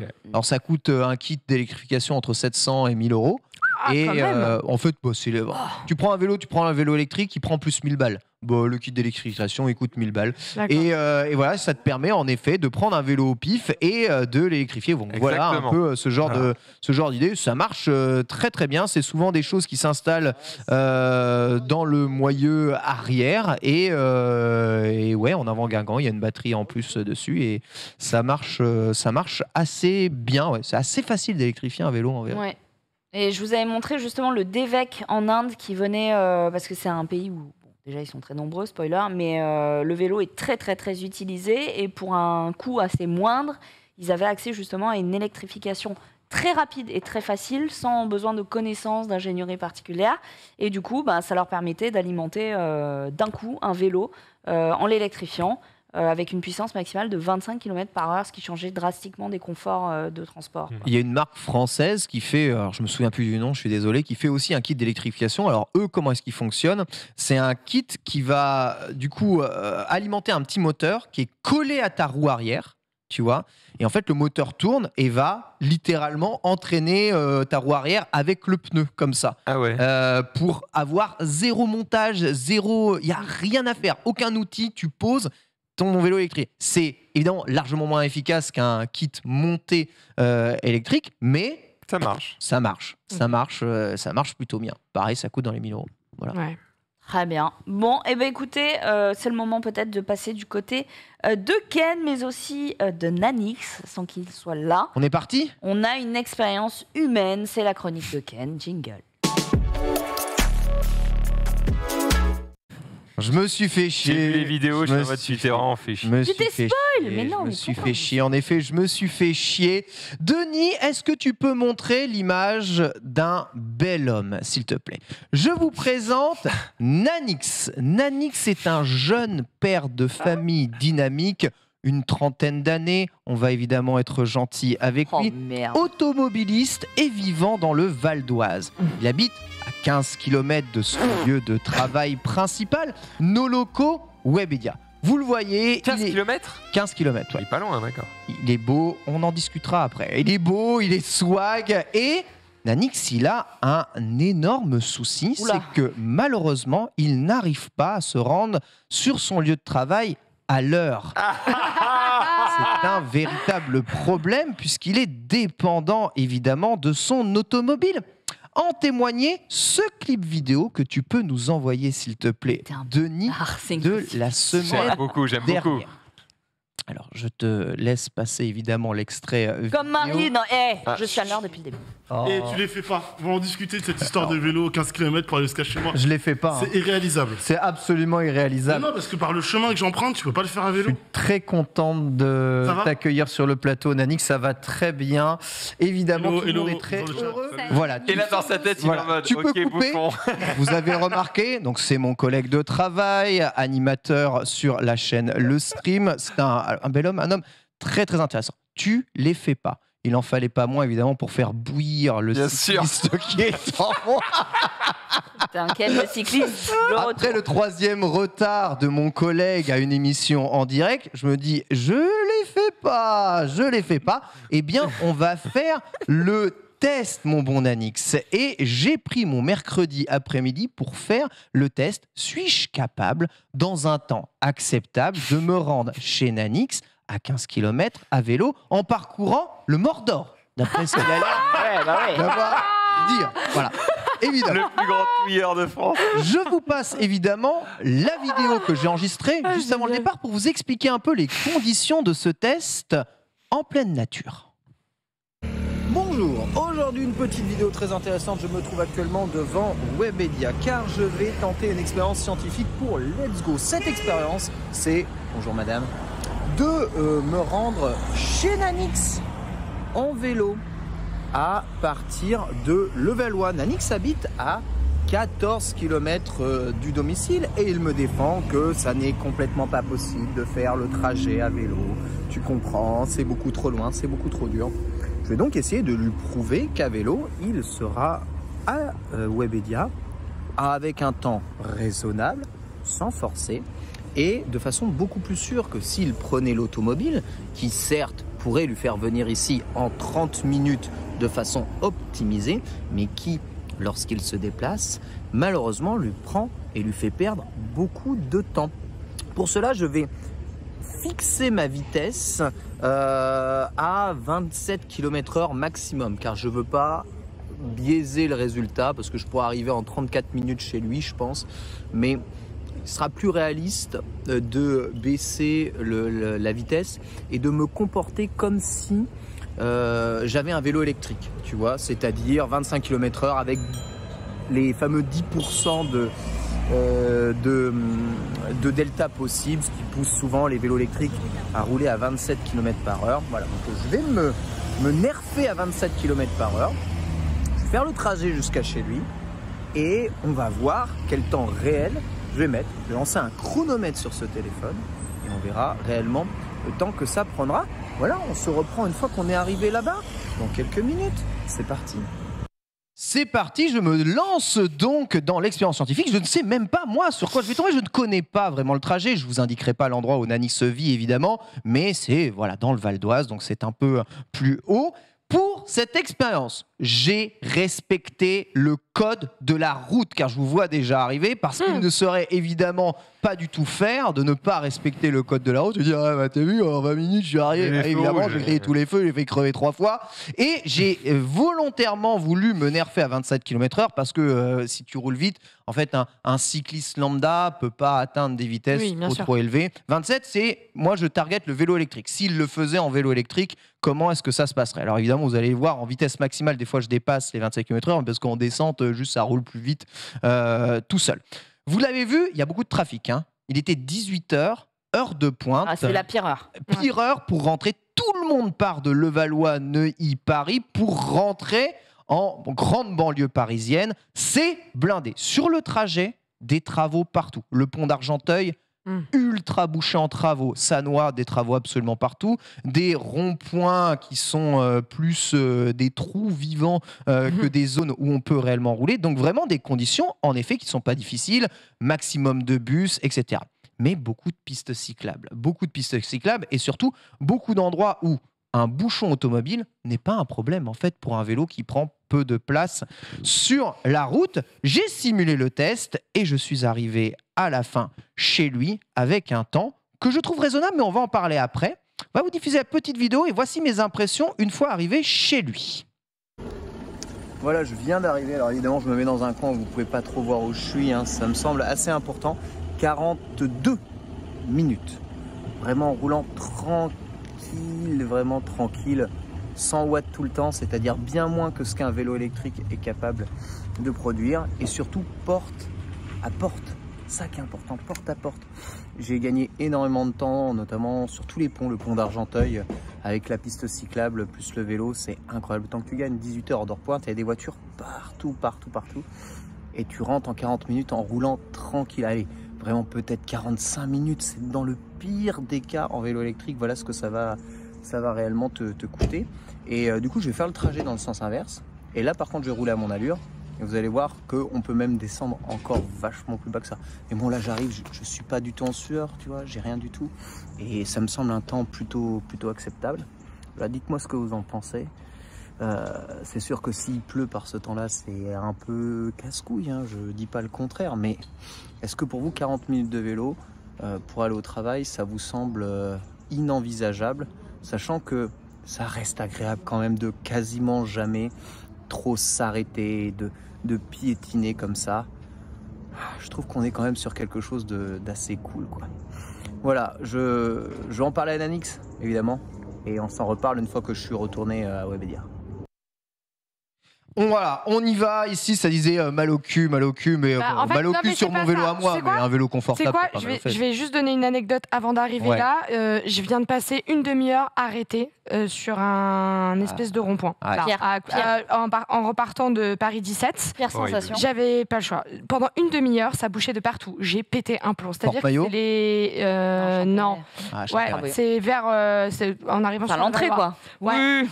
Et il y a dû euh, avoir les flics qui sont arrivés pour faire la, La dégager. circulation, comme ce que nous racontait Max la semaine dernière. Une horreur. Donc là, dans ces cas-là, alors je ne sais pas où habite Nanix exactement, mais moi, avant, j'habitais Taverny et je travaillais dans le 17e. Donc pareil, il est une heure de route le matin en voiture, je me les suis tapés. Après, euh, l'été, la moto, donc ça va mieux. Mais euh, franchement, 40 minutes de vélo comme ça, je me dis, euh, j'ai pas envie. le matin, ça t'épuise. Il fait froid, non merci. Mais quand tu passes une demi-heure à arrêter un feu rouge, je peux te dire que là, tu me donnais le vélo, au moins, bah tu roules. Voilà. C'est vrai que l'avantage, du vélo, c'est que ces 40 minutes, ça sera 40 minutes tout le temps. Au pire, Voilà. s'il a la flemme de pédaler, un scoot. Un scoot, on va en parler justement après. Juste tour de table, et on va vous poser, si c'est possible, mon très cher Denis, la question dans le chat. Pour vous, 40 minutes de vélo pour aller au travail, est-ce inenvisageable Oui, oui, uniquement s'il fait beau, ou non, c'est mort à 40 minutes. Je me rends compte quand même, ça reste un temps long. Ça reste, cela dit, moins que le temps moyen de déplacement en région parisienne euh, des personnes. Maxidane, 40 minutes de vélo électrique, hein, j'entends, hein, pour aller au travail. C'est-à-dire, il n'y a pas d'effort. hein. On ne parle pas d'effort, là, c'est le vélo et pédale pour toi. Jamais Est-ce que ça fait te de vélo paraît- électrique, donc je ne me rends pas vraiment compte. Et de base, euh, ça me fait un peu chier de pédaler, j'avoue. Ouais. Euh, je- en fait, dans tous les cas, je trouve que c'est un scoot, c'est tellement bien. En fait, moi, je- j'ai toujours dit, hein, je, je fais de la moto uniquement parce que je trouve ça stylé. T'enlèves le look. Tous les jours, je prends un scoot. C'est tellement plus pratique. Oh. T'as un coffre, t'es au chaud, t'es Je vais tellement m'en bien. aller du plateau. Non, mais c'est plus pratique. Alors oui, tu passes pas les vitesses, t'as pas le même Ouais. bruit, il y a rien qui va. Mais Alors, c'est plus pratique. en scooter, on profite pas des pistes cyclables, qui sont quand même forts, et on profite pas des panneaux euh, de priorité feu que possèdent aussi les vélos. hein. Donc, Ah, mais tu vas en scooter, y- ouais, en vrai, je pense que tu vas aller plus vite je quand pense même. que c'est kiff. Tu vas aller plus vite en scooter. Maintenant, Que tu vais- perds en feu rouge, tu le gagnes. Vous allez voir, le- il y, a il y a des faux. Marie, 40 minutes de vélo pour toi, facile. Alors vous avez le sondage dans le chat, est-ce que vous pouvez l'envisager ou non ici restez en vie, Ken, en fait. Euh, restez en vie. Non, là, je regardais juste. euh, toi, t'es bien à Ivry-sur-Seine. Vitry. Vitry. C'est- à côté. à côté, Bah, fin pareil. de l'étude, voilà. Euh, c'est hein. pas euh, voilà. Vitry-sur-Seine pour arriver là, si tu prenais ta voiture, t'en aurais pour 1h13 maintenant. hein. Alors Bah, non, mais là, évidemment, là, c'est le- c'est l'heure de l'enfer. euh, bah oui, 1h13, 50 minutes en métro, euh, bus et compagnie, et tu mettrais 1h06 en vélo. Donc Alors, tu ne gagnerais que Tu regardes sur Google? Ouais. C'est tout est faux sur Google. Ah, Je peux t'assurer. Donc la Google m'annonçait 1h03 pour aller chez Nanix. ah oui. Réel, 40 minutes. D'accord? Tout est faux sur Google parce qu'ils envisagent que tu te balades, donc tu roules à 15 km/h de moyenne. Voilà, donc c'est vraiment euh, Hmm. en vélib euh, qui a la route Ouais, comme tu te ça. balades tu jamais vois. vraiment. Quand tu Voilà. rentres du taf, t'as quand même envie de rentrer chez toi. Tu mets un minimum Ouais. de rythme. Ouais, ouais. Donc c'est pas, c'est pas non plus. euh, c'est pas D'ailleurs, ce qui est pas mal, c'est euh, Waze fait ça. euh, ils ont un mode. euh, alors, c'est pas un mode vélo. hein, Un mode ils- sportif. Ils, ont, ils ont un mode moto. Ah. Et en gros, c'est à peu près les. En fait, ils- je pense qu'ils ont les mêmes calculs, juste ils ne tiennent pas compte des bouchons. Donc, ils tiennent compte des travaux, des trucs comme ça. Mais en gros, les bouchons, ils les ignorent. Et comme effectivement, quand tu es en moto, tu ignores les bouchons, bah, ça te donne un temps plutôt, plutôt accurate. Ah, Oui, ça, moi, ça me votez dit dans- 30 minutes en vélo depuis chez moi. Ouais. Sur Google, ça veut Oui, dire oui. qu'en vrai, Bon. vitesse Ken. Non mais chez toi, j'y suis déjà allé. En 15 minutes, je suis chez toi depuis ici. Non, en vrai, tu veux faire un vote? Sérieux?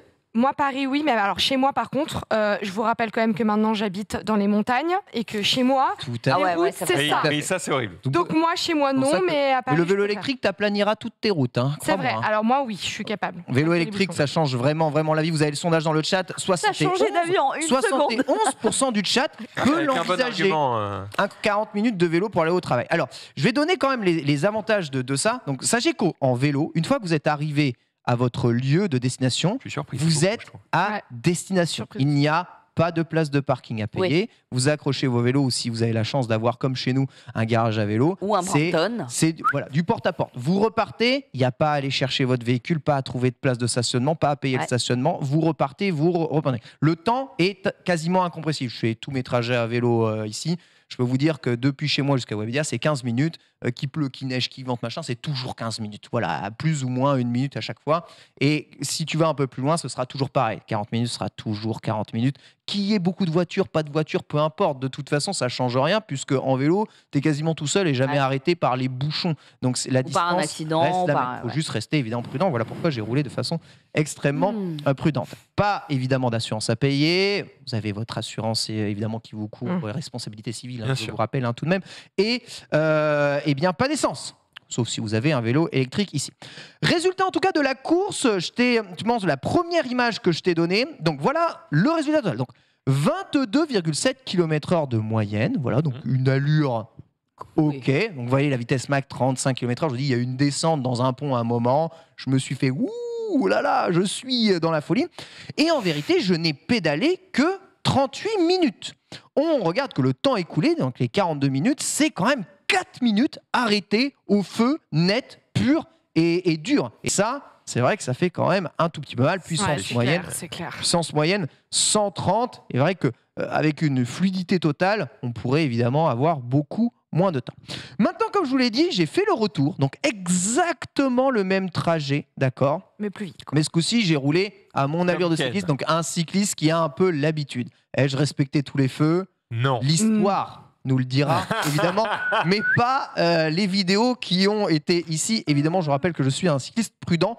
Voici le comparatif du coup des deux temps pour revenir de chez Nanix à Webedia exactement au même point. Je suis à 31. 27 km/h de moyenne et je mets 33 minutes. À 33, pardon. 33 minutes de temps écoulé, 31 minutes réelles. Vous voyez celui-là Oh, il n'y a que 2 minutes de temps d'arrêt au feu. Oh, c'est bizarre. Il y a 2 minutes de moins qu'avant. Oh, c'est trop bizarre. Voilà. Vous voyez par contre que la puissance, on passe de 130 watts, donc vraiment un truc qui pour mon poids est complètement OK, à 194 watts de moyenne. J'arrive en sueur, sa maman, d'accord, ok, avec ce genre de temps-là. Donc en bourrinant comme un malade, d'accord, pour arriver le plus tôt possible pour faire celui qui a la plus grosse, je gagne dans ma putain de vie de merde 8 minutes. 8 minutes. 8 minutes. Voilà. Franchement, Ouais, mais- il Ouais. n'y a que les connards qui pédalent vite. Tu peux pédaler, tu peux pédaler tranquille. Qu'est-ce que c'est 8 minutes dans ta putain de vie? C'est rien. Euh, T'arrives pas en sueur, t'es tranquille, t'es peinard et t'es ok et t'es au calme. Voilà pourquoi. Le je ne plaisir de la speed. mais oui, je recommande respecter le code de la route. Euh, Allez tranquillement à votre point de destination et euh, voilà, vous perdrez peut-être 8 minutes, mais vous vivrez un peu mieux votre vie. Et peut-être plus Le longtemps. chat de est partagé. générale, hein, on nous dit oui, mais bon, 8 minutes fois 365 Oui, je sais, avec je une sais, tête de troll. le- Mais aussi, C'est un euh, qu'on peut avoir. il a roulé comme un terroriste et frôlé la mort quatre fois. Donc. Non, c'est pas vrai ça. Mais, euh, mais oui, en effet, euh, ça m'a fait surtout, le- le- ça m'a fait beaucoup transpirer, tu vois. Alors que le premier trajet, il n'y a pas de transpi, d'accord? C'est une des peurs de- des cyclistes. Le moyen de transport le plus optimisé pour Nanix, c'est en effet le deux roues motorisé. Et c'est probablement, je pense, dans sa configuration, ce qui va lui coûter le moins cher. C'est le scooter électrique ou la petite moto électrique. Nanix est possesseur d'un permis A. Il a le droit à une moto 125 cm3. J'en ai sélectionné une, on en avait testé une ici, la fameuse Super Soco, qui dans son Ouais. modèle d'entrée de gamme, euh, eh bien, propose un tarif de 4000 euros, un, quand même, moto électrique 125 cm3.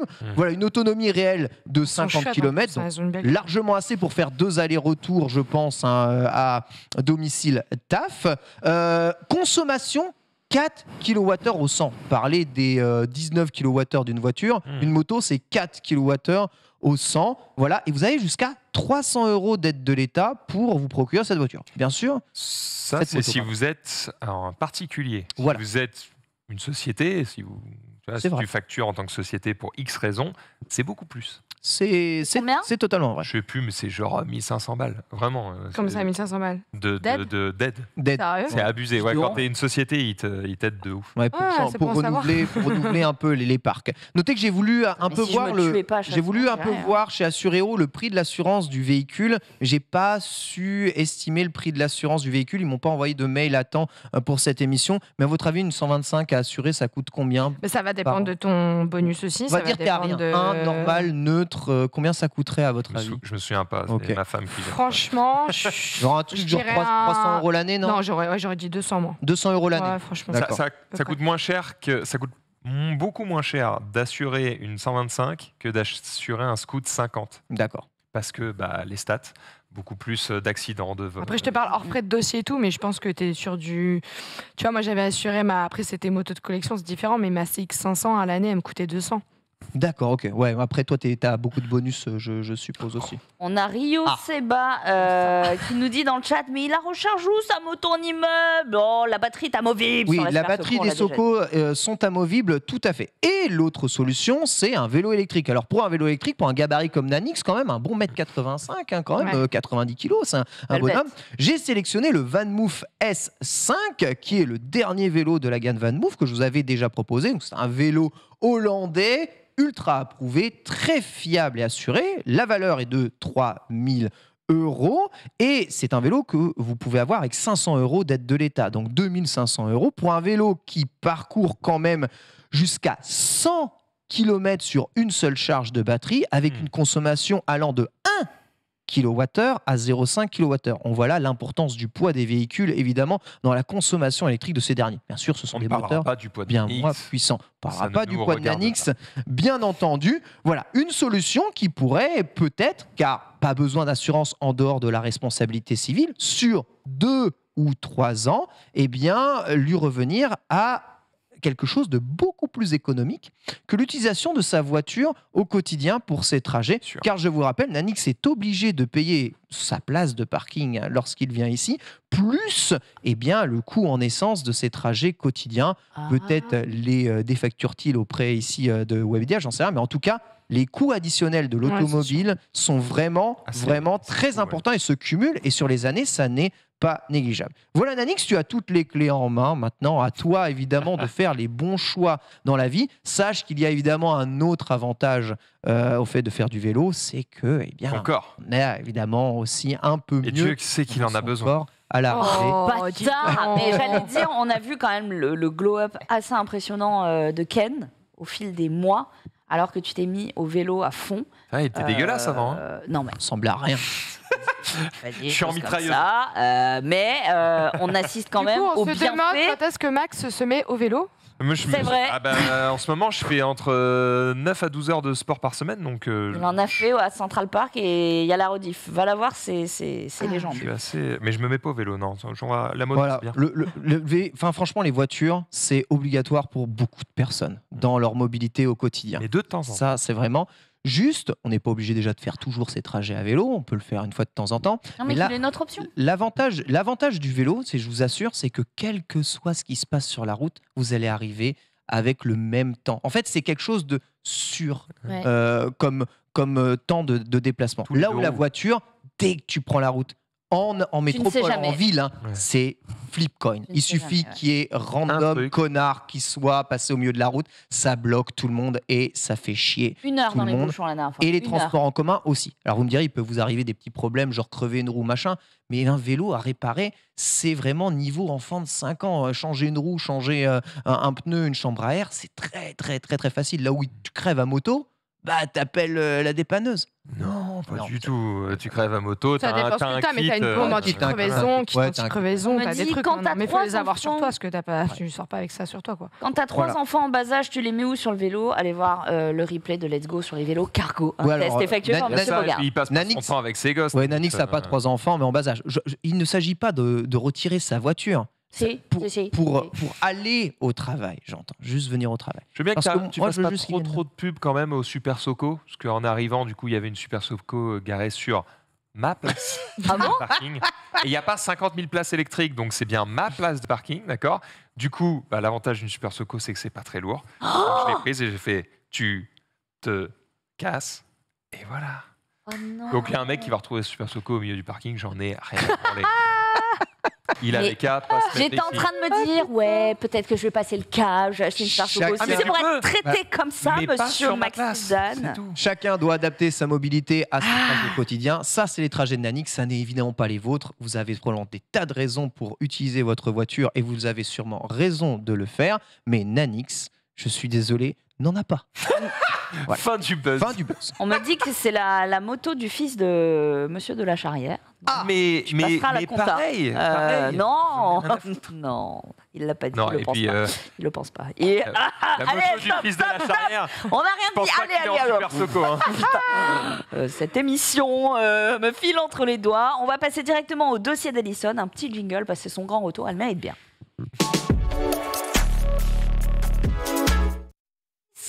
Alison, Ah, les essais petites sur news. circuit. oui. des- J'avais des petites news. Mais alors, enchaîne les news, Ouais, le ouais, truc, mais les images, je vais pas passer 20 ans dessus, mais sur les petites nouveautés, euh, je tenais à parler du premier festival euh, 100% féminin, femmes et moto, qui a eu lieu la semaine dernière. Voilà, donc Mhm. c'était le week-end dernier.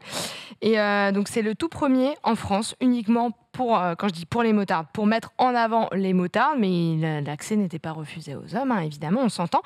Euh, et en fait, c'est un festival qui a été créé par euh, donc Alice, qui au passage est une bonne amie à moi, et ça a été inspiré par le festival donc Pétrolette qui qui se fait actuellement.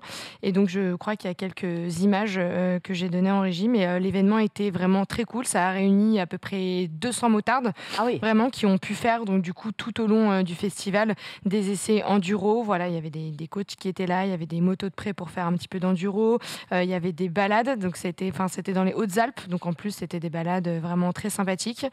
Il y a eu euh, bah, notamment euh, des Eudoxie et compagnie qui étaient là pour mettre en avant tout ce que aujourd'hui les constructeurs et les marques équipementiers font pour les motards pour montrer qu'il y a de plus en plus d'équipements possibles, qu'on soit euh, motard de, de route ou euh, circuit ou cross, etc. Et puis euh, il y avait euh, notamment des, bah, des flashs réalisés pour personnaliser ton casque, etc. Alors là, du coup, on est sur autre chose. du coup, c'était pas le, Ah, attends. c'était pas le festival. Il y en a voilà. Un petit peu d'avance euh, là-dessus, mais euh, c'est pas très grave. Et donc du coup dans la deuxième news, euh, donc je voulais parler de quelque chose que j'ai testé il y a un mois maintenant. En fait, ça s'appelle French Retro Ride et c'est un comme ça, c'est un gîte en fait qui existe en Dordogne, qui est tenu par euh, Jen et Kevin. Euh, donc, euh, au-delà d'être une maison d'hôtes très accueillante et très sympathique pour aller euh, pour aller regarder un petit peu ce qui se passe dans cette région-là, qui est euh, by the way très sympathique. Donc là, c'est les images actuellement qui, qui devaient qui devaient Là, tu peux passer. envoyer. C'est maintenant. Là, c'est bon. Et donc, du coup, on a- s'est fait une balade. On était une dizaine de motards, de copines à aller là-bas. Et en fait, French Retro Ride, c'est donc une maison d'hôtes qui vous permet aussi de louer des Royal Enfield sur place. Sympa.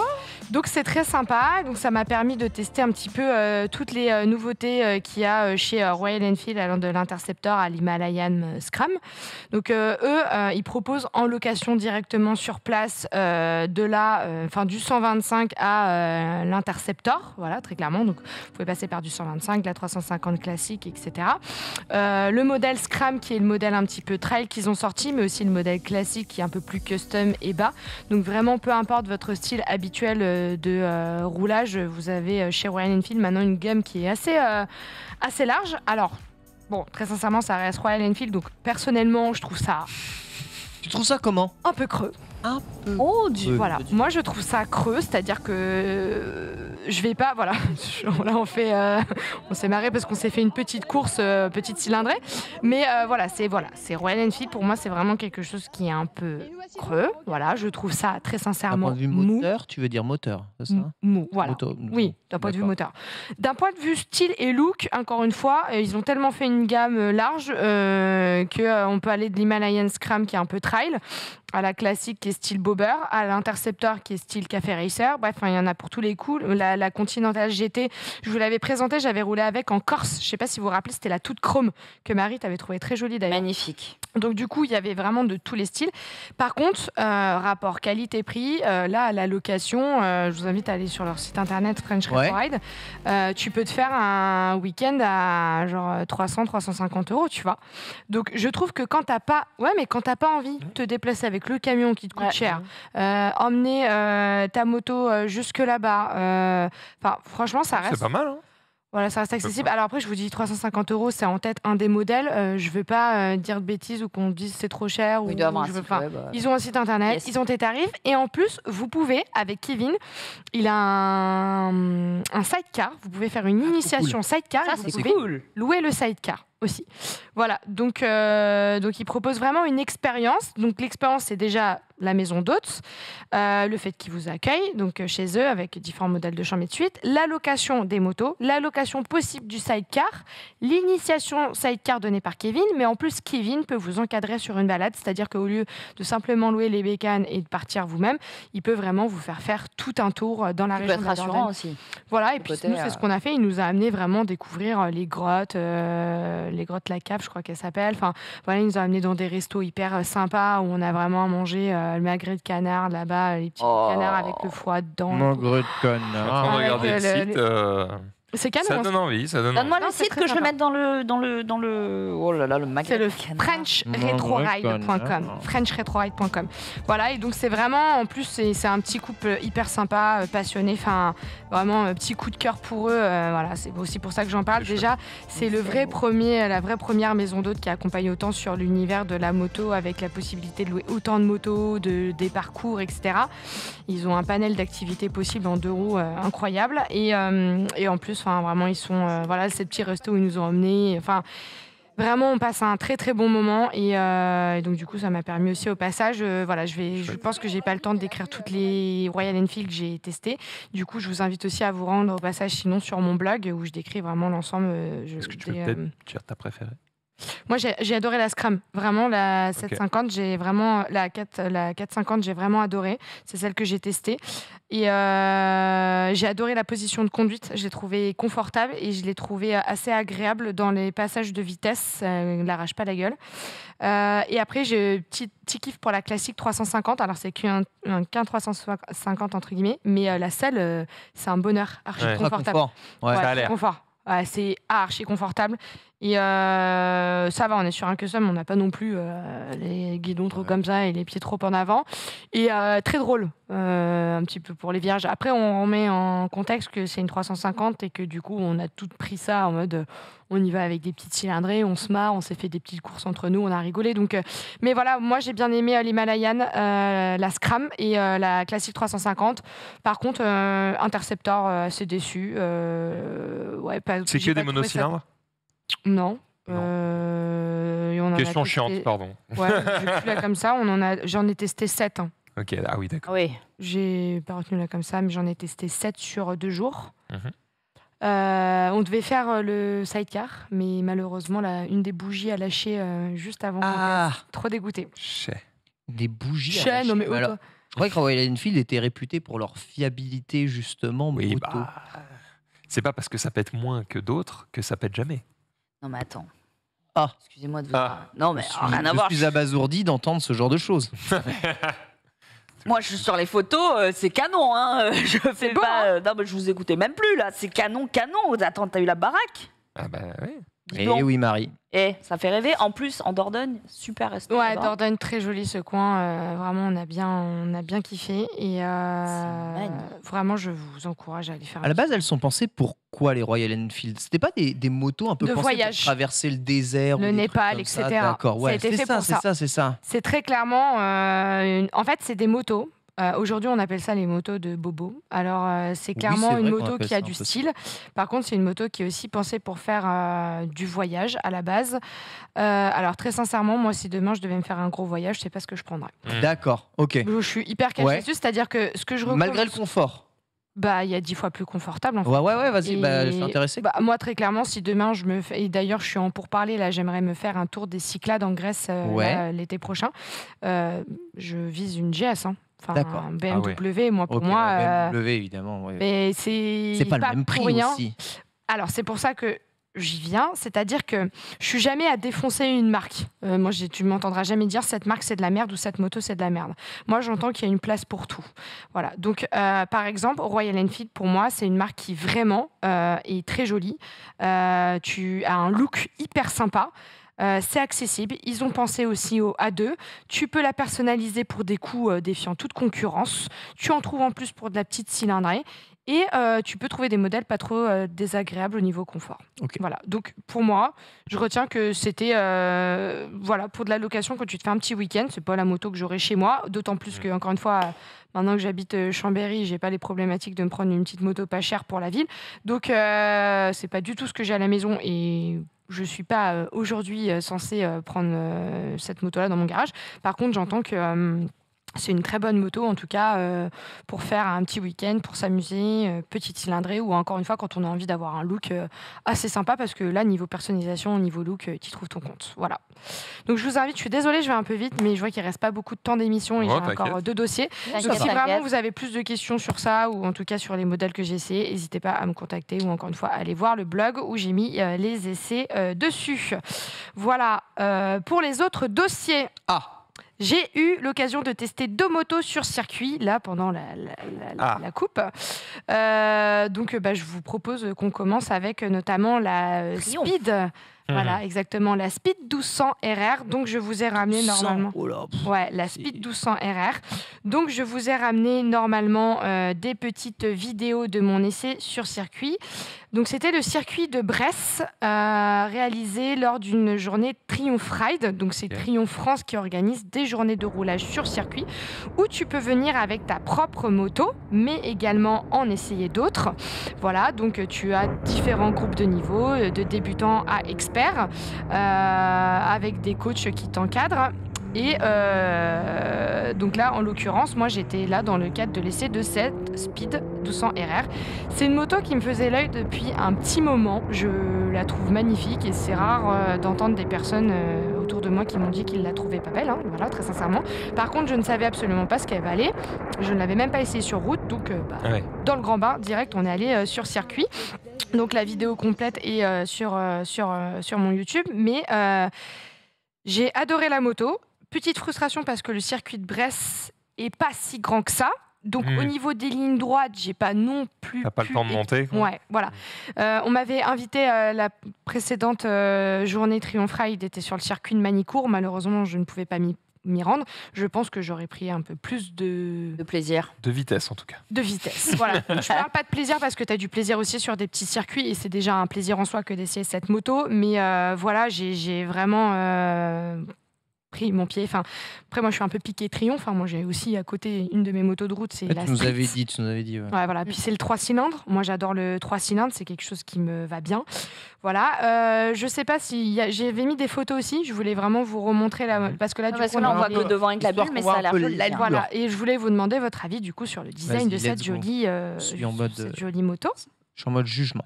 Voilà, C'est- on est. Donc c'est parce que je, je vais peut-être dire des conneries. hein. C'est parce que c'est un modèle RR que du coup il y a le la, la- la- la vitre là devant. Tu vois ce que je veux dire? Bah, chez Triumph, oui. Pas forcément parce que chez BMW, tu as la RR et en fait, c'est c'est juste que c'est le look un peu sportif, mais ils Hmm. l'ont fait style café racer. Mhm. Très clairement, euh, la bulle comme ça devant, c'est les anciens euh, café racer. Normalement, il y avait aussi de- des photos euh, de la, de, de- de la moto, euh, ou en tout cas, sinon, peut-être sur. euh, Je vois le genou euh, sur la piste et je pense à Max Hildan. Ce qui jour où il posera le genou. Il va falloir qu'il le fasse. Ouais, bah un jour, un jour, un jour. Il faut se lancer. Voilà, donc on est sur une euh, moto qui euh, pèse 197 kg tout plein fait, voilà, avec un réservoir de 16 litres, qui a une boîte 6 rapports, qui a évidemment un Ah, shifter de série. voilà. Ah, Alors, c'est celle de... Ouais, euh, moi, c'est vraiment euh, la, rou- la rouge, mais là, c'était la blanche, l'édition la blanche. Et les... Ouais, peu importe, rouge, c'est ce look-là. Tu peux nous la remontrer, s'il te plaît, Denis? Ouais. Me la montrer. J'aimerais bien juste voir la moto un jour. Non. non. Ouais, ça va pas. L'image d'avant était parfaite en fait. Ouais. En fait, t'as juste Vraiment. à cliquer et faire défiler. Hein. Ouais. Sur, euh, depuis le blog. C'était vraiment bien, mais on l'a vu euh, trois frames. Ouais. Et, euh, Imposante, hein.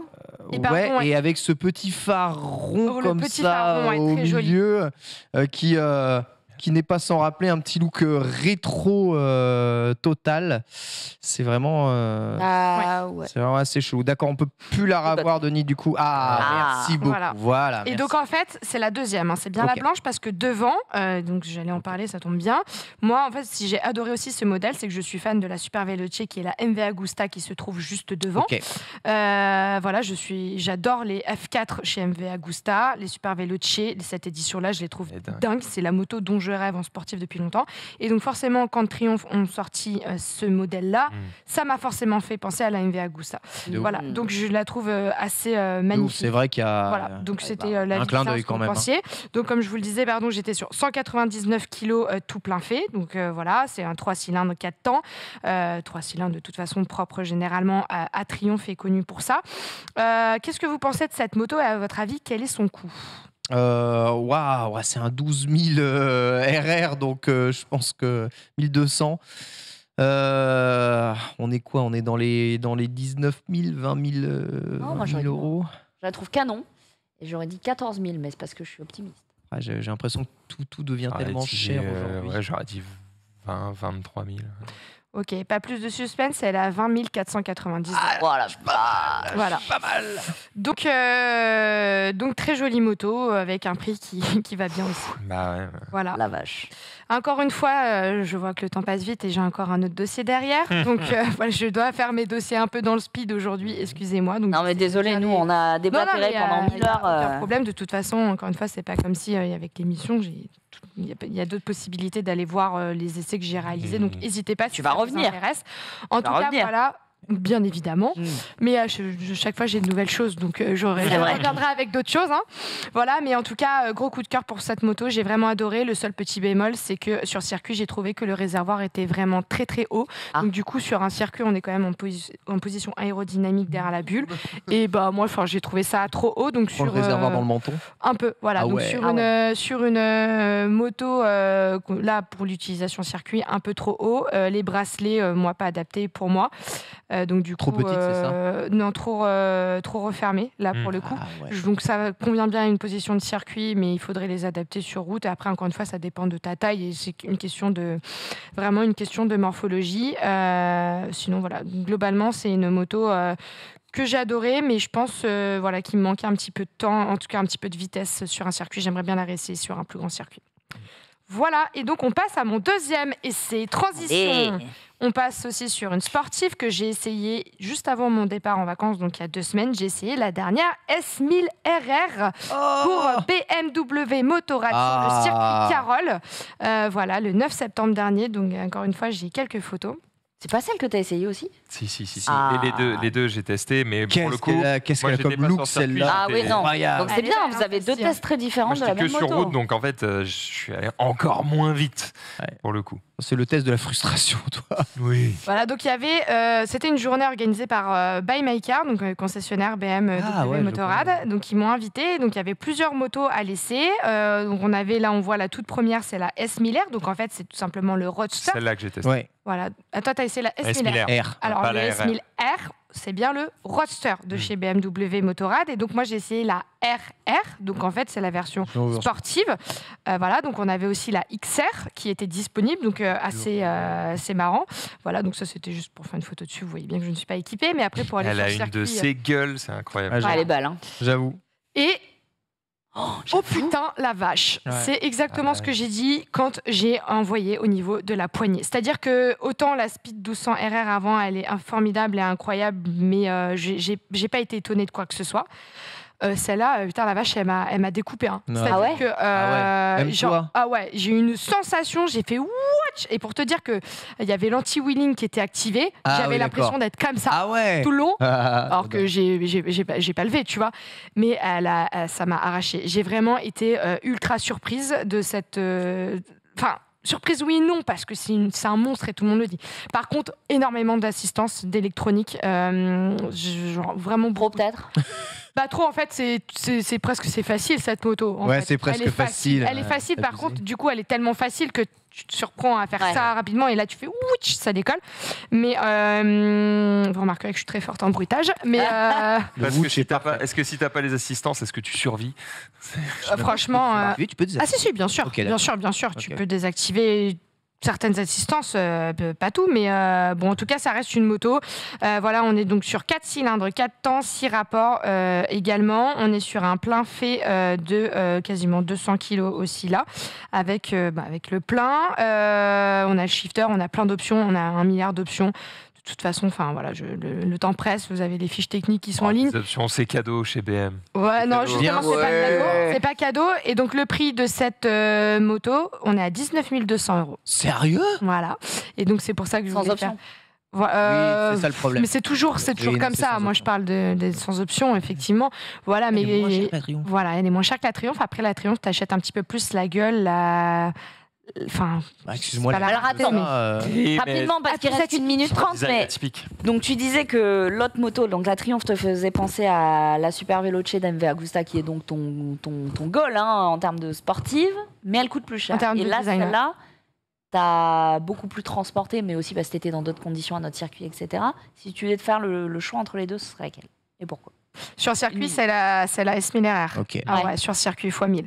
Par contre, euh, moi, je suis une piquée triomphe pour la route. Mais tu vois, la, la 1200 RR, peut-être que son look un peu trop café racer me permettrait pas d'être euh, au confort. J'aimerais Ouais. bien faire le test sur route pour avoir un comparo. J'ai adoré la tester, je la trouvais trop belle, mais là, entre les deux, mon, mon cœur ne balance pas. C'est-à-dire que sur le circuit, là, la S1000 RR, je l'ai trouvée incroyable, j'ai été surprise, mais peut-être peut-être un peu trop. Et je pense que si je vais au Mans avec, je me chie dessus. Ouais, ah voilà. Voilà. Et juste pour vous dire Parce que Carole, existe... pareil, il peut euh, pas aller très vite non plus. Il est pas bah non, Carole, grand, il est euh, très petit. euh, C'est par contre, il est super technique. Ouais. Et euh, ça m'a pas empêché d'envoyer la moto, tu vois, donc, euh, alors que je la connaissais pas. Donc, euh, et euh, vous avez donc la version M1000RR euh, qui n'était pas possible là d'essayer parce qu'elle coûte trop cher et la caution, merci. Aïe. Mais pas possible. Et donc il y a 33 270 euros. Donc là on est vraiment sur un autre step. Voilà pour mes essais circuit. Désolé, j'ai fait au plus vite. Mais Il y en a qui me demandaient où retrouver les essais. génial. Donc c'est sur mon blog. voilà, j'ai tout. Talons et guidons, effectivement. Il ne reste que 9 secondes. L'occasion de vous remercier d'avoir participé dans le chat et de nous avoir regardé. On vous donne rendez-vous la semaine prochaine pour Let's Go. Prenez soin de vous. Ciao